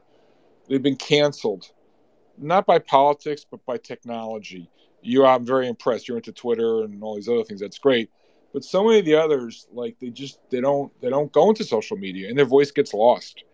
And it's really a shame because um, there's such a wealth of information out there. It's just it's not getting it's not it's not being heard loudly enough. And so i thank you for the bottom of my heart arjun for doing this and everything you're doing.